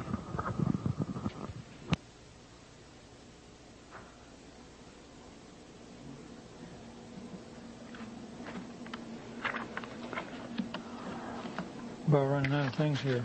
Need some questions. Here's a good one.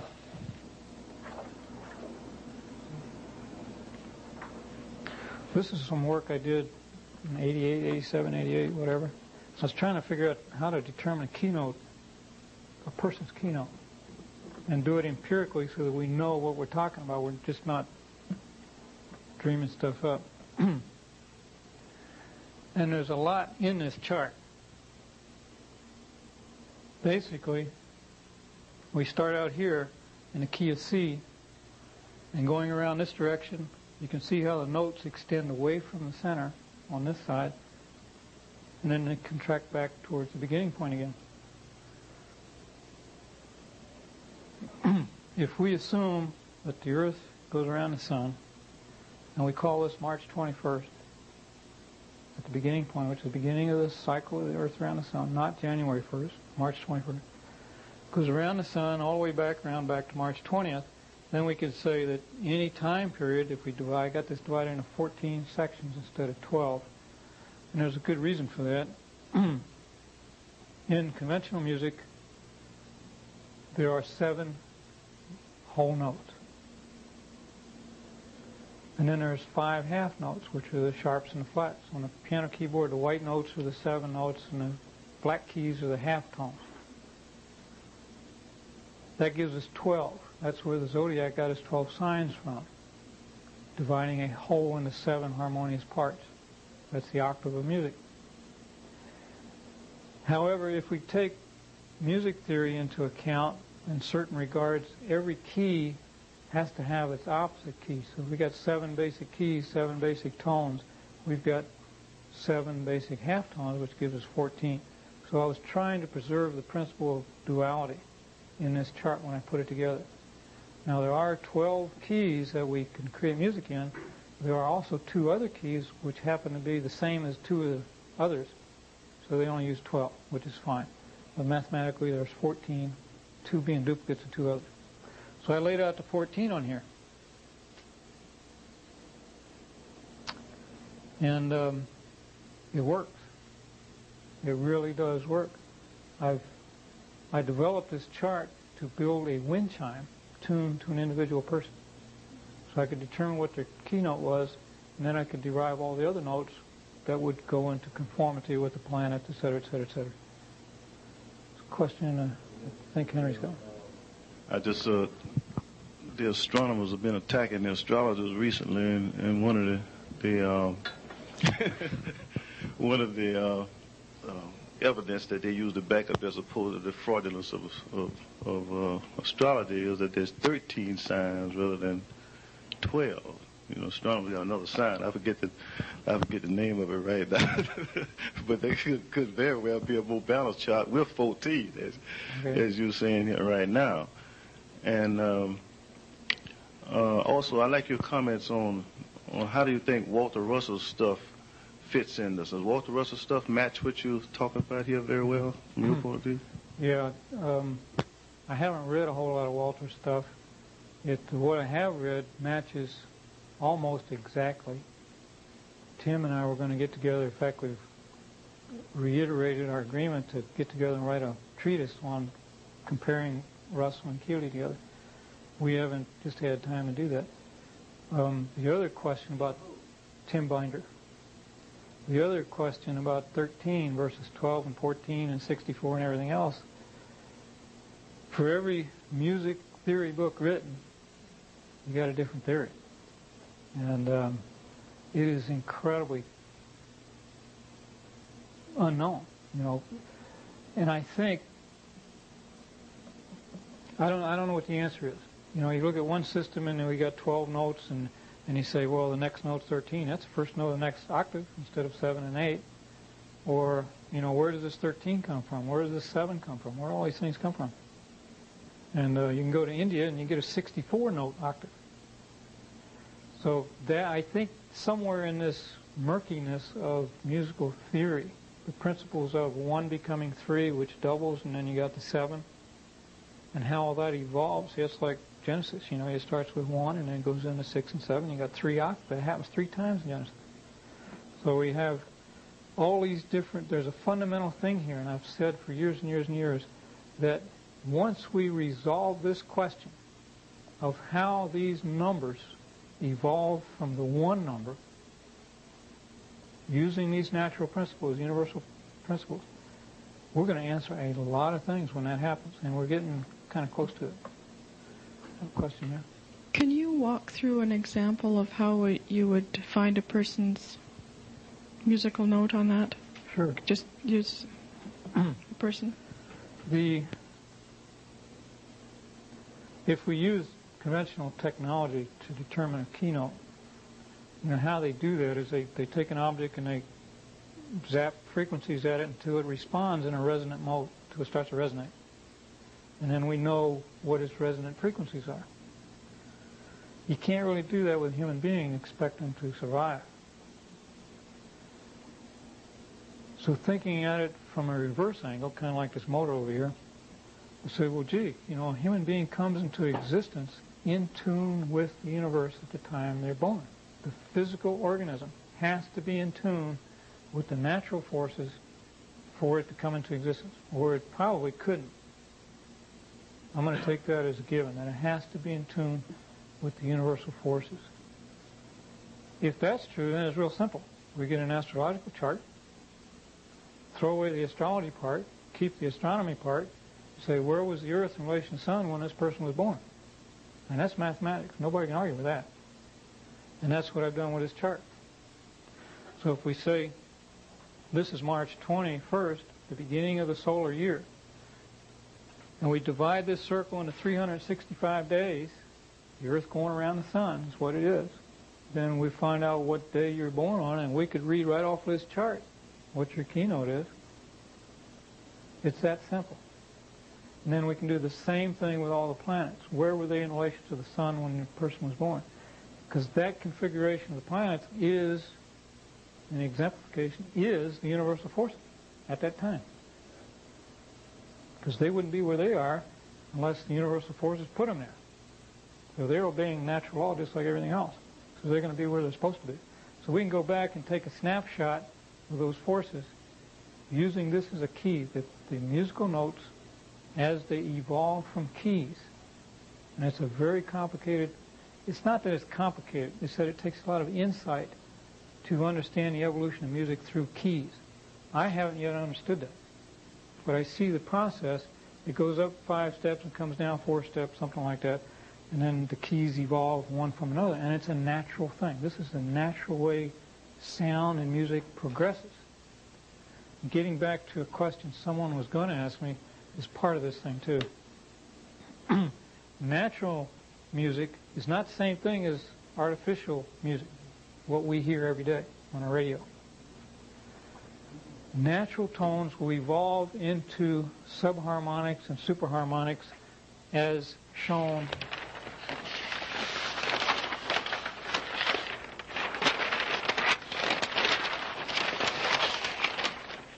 somewhat as we've shown on this chart they will naturally create these tones. If you sound this tone, these all sound at the same time. I mean, it's instant. They're there. Maybe we can't hear them, but they're still there. They're always there. I just lost my thought.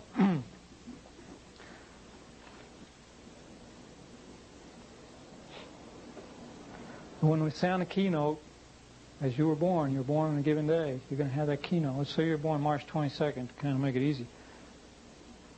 Key of C is the first note that is evolved from this natural process. So we have the, the, the, the numbers and the frequencies will naturally correlate with each other. They naturally evolve from it. It's a natural thing. It's kind of like the Fibonacci series, which is musical, by the way, versus man-made music, which they got together, I think it was 1934 or 24, and, and he says the note A ought to be 440 cycles per second. Because from that number we can tune all the other instruments, and every music written in every country can be played on every instrument in every country, and it all sounds good. Well, that's the key right there. That's where it falls apart. It sounds good. Nature doesn't care one whit what we think. It sounds good, it sounds bad, it don't care. Nature is natural, and it will do what nature will do when we create artificial ideas about what we think is good and, and you know, we start stumbling along the way, and that's what's happened. Part of what's happened. Does nature have a tuning mechanism? Like, how would you start your basses? What what would be a natural sound that you could start for, say, a bass note? And and the other question is, is that why the human voice potentially is more harmonic and easier on the ears, easier on the body for tuning than anyway, the, the first question, is there anything in nature that will give you a bass note rather than an instrument? Um, or is that a goofy question? Yeah, that's, that's a good question. That's, that's a good question. Um, like eight cycles per second of the Earth or the waves? Or you, got, you know, I had that same question years ago, and I, I, I said, well, what's, where, where do we start? You know, what's the frequency, what's the benchmark frequency we can hang everything on? And there's only one. That's right there. You got to start with one one cycle per second, one cycle per time interval. And then from that, through the natural mode that these things evolve into each other, you will get all this other stuff will fall out of it. You will all naturally fall out naturally, sequentially. And that is your benchmark, is one. And uh, going back to the ancient metaphysical and mystical viewpoints of things, there is only one. One God, one force, one energy, one whatever. And everything else is a subset the how and the why that takes place is what got me into this stuff, is trying to answer that. How and why. You know, how did the void become materiality? So, uh, what was the second part of your question? What I just thought of something else that I'd like to share with you that was on TV. A man was raising alligators. He had them in his basement, and he had them for years and his wife, no one in the neighborhood knew. It was in a very quiet residential area. And his wife got into kind of a sewing group. And they had all these sewing machines. And she had the ladies over one afternoon, and they were all working their sewing machines. And the drone that started, the, the, the sound that was made by the sewing machine started the alligators in the basement roaring. Mm-hmm. And everybody, the people wondered what was going on, and she explained it that it was the pipes, you know, the the um, yeah, right. the water pipes in the basement. They were having problem with their plumbing. Well, um, this went into a research project, and they were trying to figure out what note was it that started these alligators to do that. So they had a musician, and they thought, well, that particular note was, a, say, a B flat or something on a, and they had a big tuba. And so they went out to and this was all with the cameras. They were doing this live. They went to the, I think it was the Everglades or somewhere where there was just infestations of, of alligators. So they were playing this note on the on the bridge, and there wasn't one sound. The alligators didn't make any noise. So they thought, well, gee, so much for that theory. But a man who happened to be standing on the bridge heard about this thing, and he said, well, why don't you recreate the environment? It was in a basement. It was, it was you know, there must have been mm-hmm. sound waves bouncing off the wall. So they took the same experiment and went to a, to a zoo where they had the cement walls and all these alligators around, and he played that same note. And lo and behold, these, all of them started this tremendous sound, and it was resonating the same note as the mu- musical instrument. Mm-hmm. I'm sorry, this had nothing to do with it, but it was just. Well, yes, it does. Actually, it does. It's, it's a very good analogy. You know, if we all resonate to those fundamental tones that we're in tune with. You know, whatever our fundamental tone is. Mine happens to be D flat.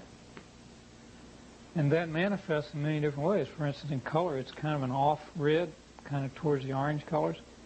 And when I first determined this, I said, well, I didn't like that. You know, I like blue. I always bought everything blue. And I said, well, I got to verify or live my research if I'm going to talk to other people. And so I started buying clothes that color and bought a car that color and I started associating with that color. And very quickly I began to see that really was my color, not the blue. See, my artificial self liked blue, but my inner self resonated to this other color. If we can learn these correspondences between the notes and the colors and all the other aspects of our lives and bring all these things into harmony, pretty soon, guess what? We can live in peace and harmony. We can begin to have a decent lifestyle instead of whatever. so you're right. People and items resonate to certain keynotes or fundamental tones. And uh, it behooves everyone to find out what those are and, and uh, adapt it. Question over here.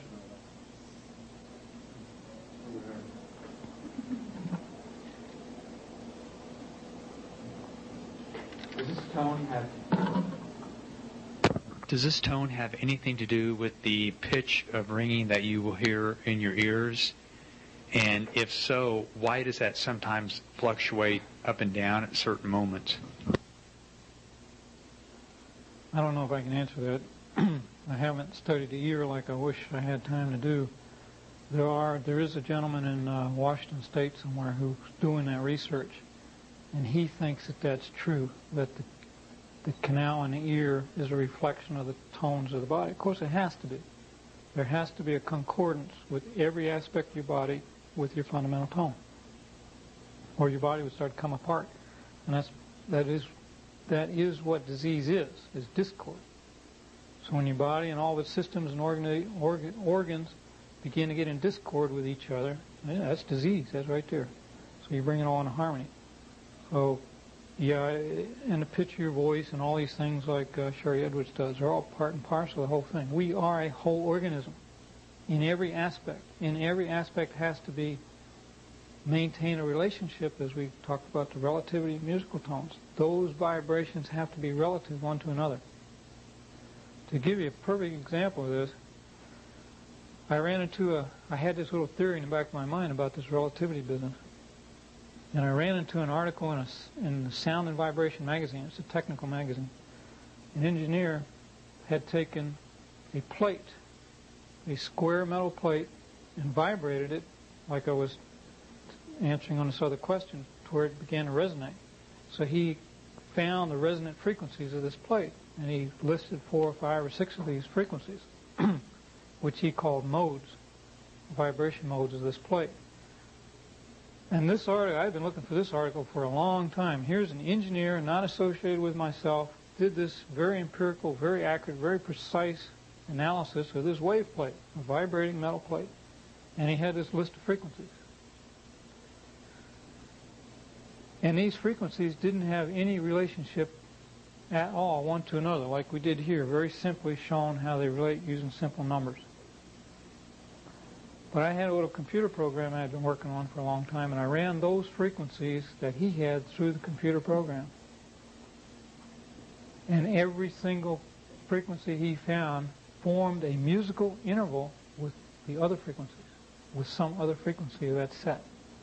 And they were within a hundredth of a frequency to be an exact musical interval. And that's enough preciseness in any engineering thing to say this is exact, this is what's going on. It was really marvelous that here is a metal plate that wasn't designed to be any kind of musical instrument, and all it puts out is musical intervals. Well, engineers are taught to read the harmonics. They are never taught about the partials that form between the harmonics, as in the seven musical notes. They're taught to look at the first note and eighth note, but never the other ones. So they're losing it all. They just don't have access to it. And this simple little experiment that he did and that I matched up with a little bit of arithmetic showed harmony in the midst of his chaos. So that's kind of the neat thing finding. You know, here's here we can find health by looking at it from a holistic viewpoint where a doctor would find disease, which he can't treat because he doesn't know he doesn't know. It's it's that simple. Question in the back.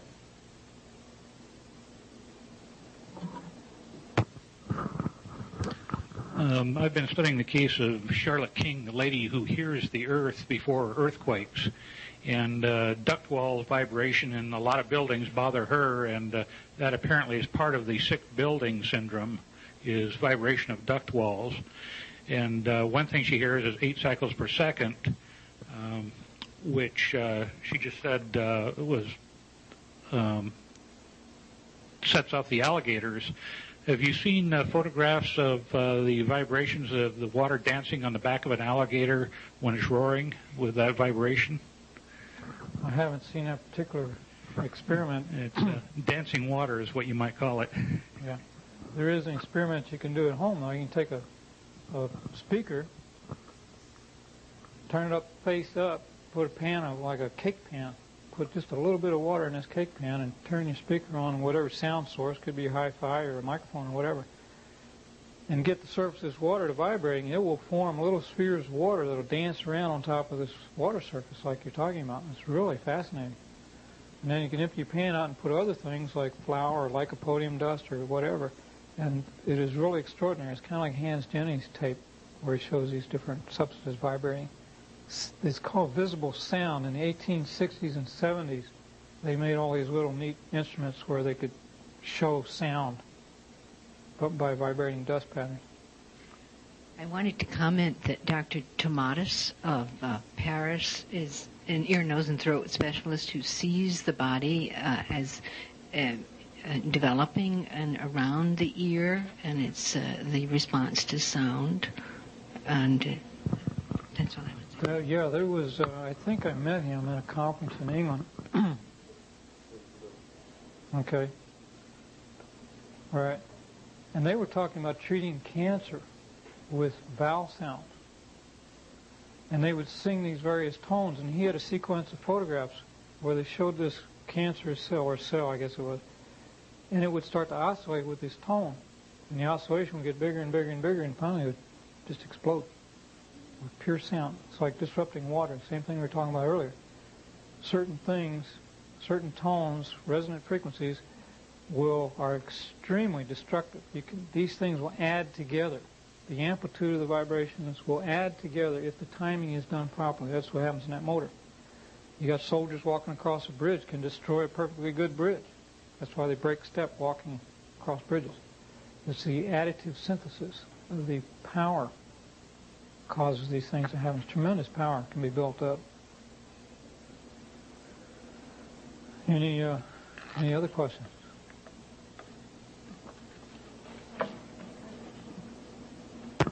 I'd heard one explanation of the walls of Jericho coming down because of the harmonics from the trumpets and the shouts. Would mm-hmm. that be? Mm-hmm. Same thing.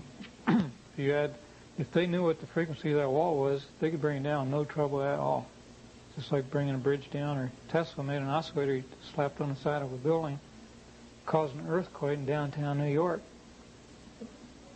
Almost brought the building down, and just a little tiny little, weighed two or three pounds, I think it was. He just got it in sync with the vibration of that building, and it just built it up.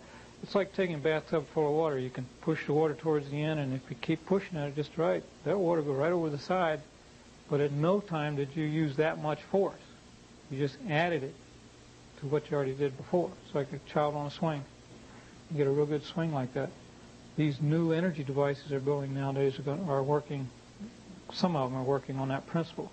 They get a potential and oscillate it back and forth, and they build up this energy.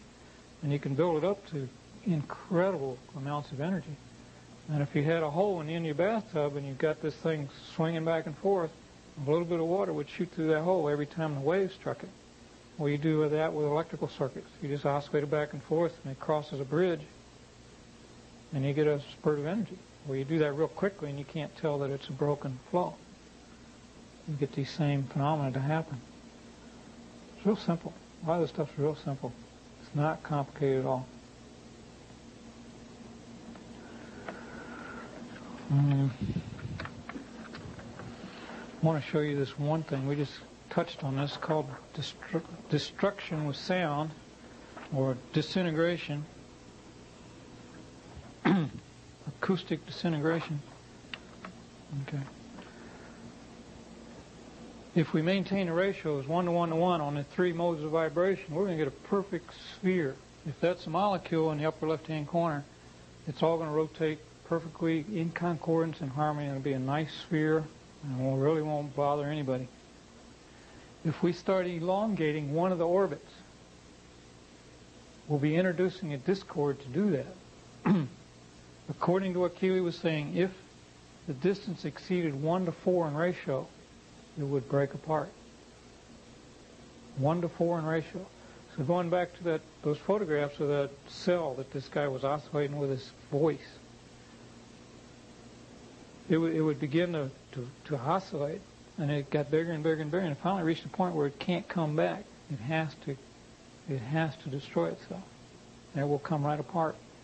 So that's the same thing. If we knew all the frequencies that were inherent in an atom or a mo- molecule in this case, we could take one of them, and if we had real precise timing, we could time it and add it together, just like we're doing in that motor right there.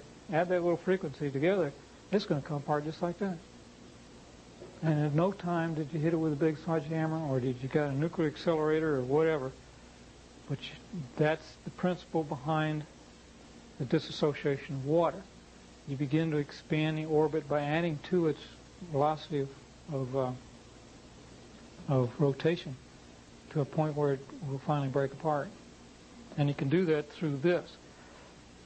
If we look at this, if, if we showed all the musical notes in between these harmonics, we could see how music bridges the material realm to the infinite realm of mind and, and so-called God energies. Cayce said that over and over and over again. Music is the bridge. It's the only bridge that'll bridge gross materiality to the superfine, subtle, energetic forces. And it's the principles behind what makes music what it is, and that's what we were talking about all day today, is how vibrations add to each other, interact with each other, can become one, can become separate, in harmony or discord. And that's the nature of it. That's why I said in the beginning, um, the universe is musical. And it operates on the principle of sympathy, which is love. Any, any questions on that one?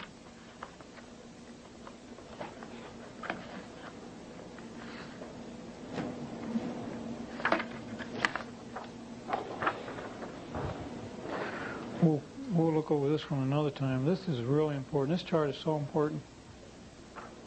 you see down the bottom, matter is bound up energy and energy is liberated matter. It's 1893. It's 12 years before Einstein wrote his, his uh, theory of relativity, where he said energy equals mc squared. Well, that's what that says. These guys were working on this stuff years before conventional science began to even look at it. That's the same year that the electron was admitted to exist. You know, they were working on electricity in those days. They finally began to have electricity predominant in society, and they really didn't know what electricity was. There was a theory that this thing called electron had something to do with electricity, and they were all messing around with it.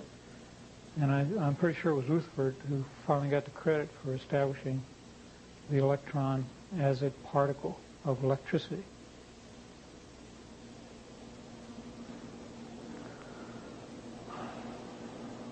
Another thing, here's, here's a really interesting thing. If it's true that the faster something goes, the denser it gets, the more energy it's got, and if what Keely said was true about the ether, that it was 986,000 times denser than steel, you know, steel would be in here, because, or it'd be down in here someplace, because steel is carbon and iron.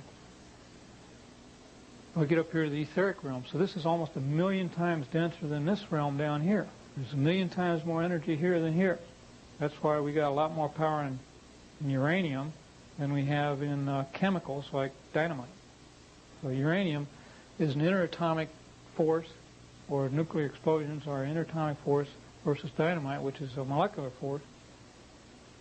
If it's true that that range of density exists there, then that means we are bubbles in the ether. It's exactly reverse what we think it is. So we're not denser than the subtler forces. we are more tenuous than the subtler forces. And it's a hard thing to grasp, but the more you think about it, it's the only way it can be. If and Asimov once wrote a book. I think it was on water, and I've been looking for that book for years. I haven't been able to find it. And he he said if ether was this, that, and the other thing, then it would have to be 400,000 times denser than steel, and it's absurd. He said that in his book. I remember that to this day. Well, let's put the absurdity aside. Let's put our own viewpoints aside, and let's look at it in a physical sense. If this chart has any accuracy to it at all, then that is true. And if that is true, then our physical organism, this lectern, the whole planet, is a bubble in this real, very dense media we call the ether.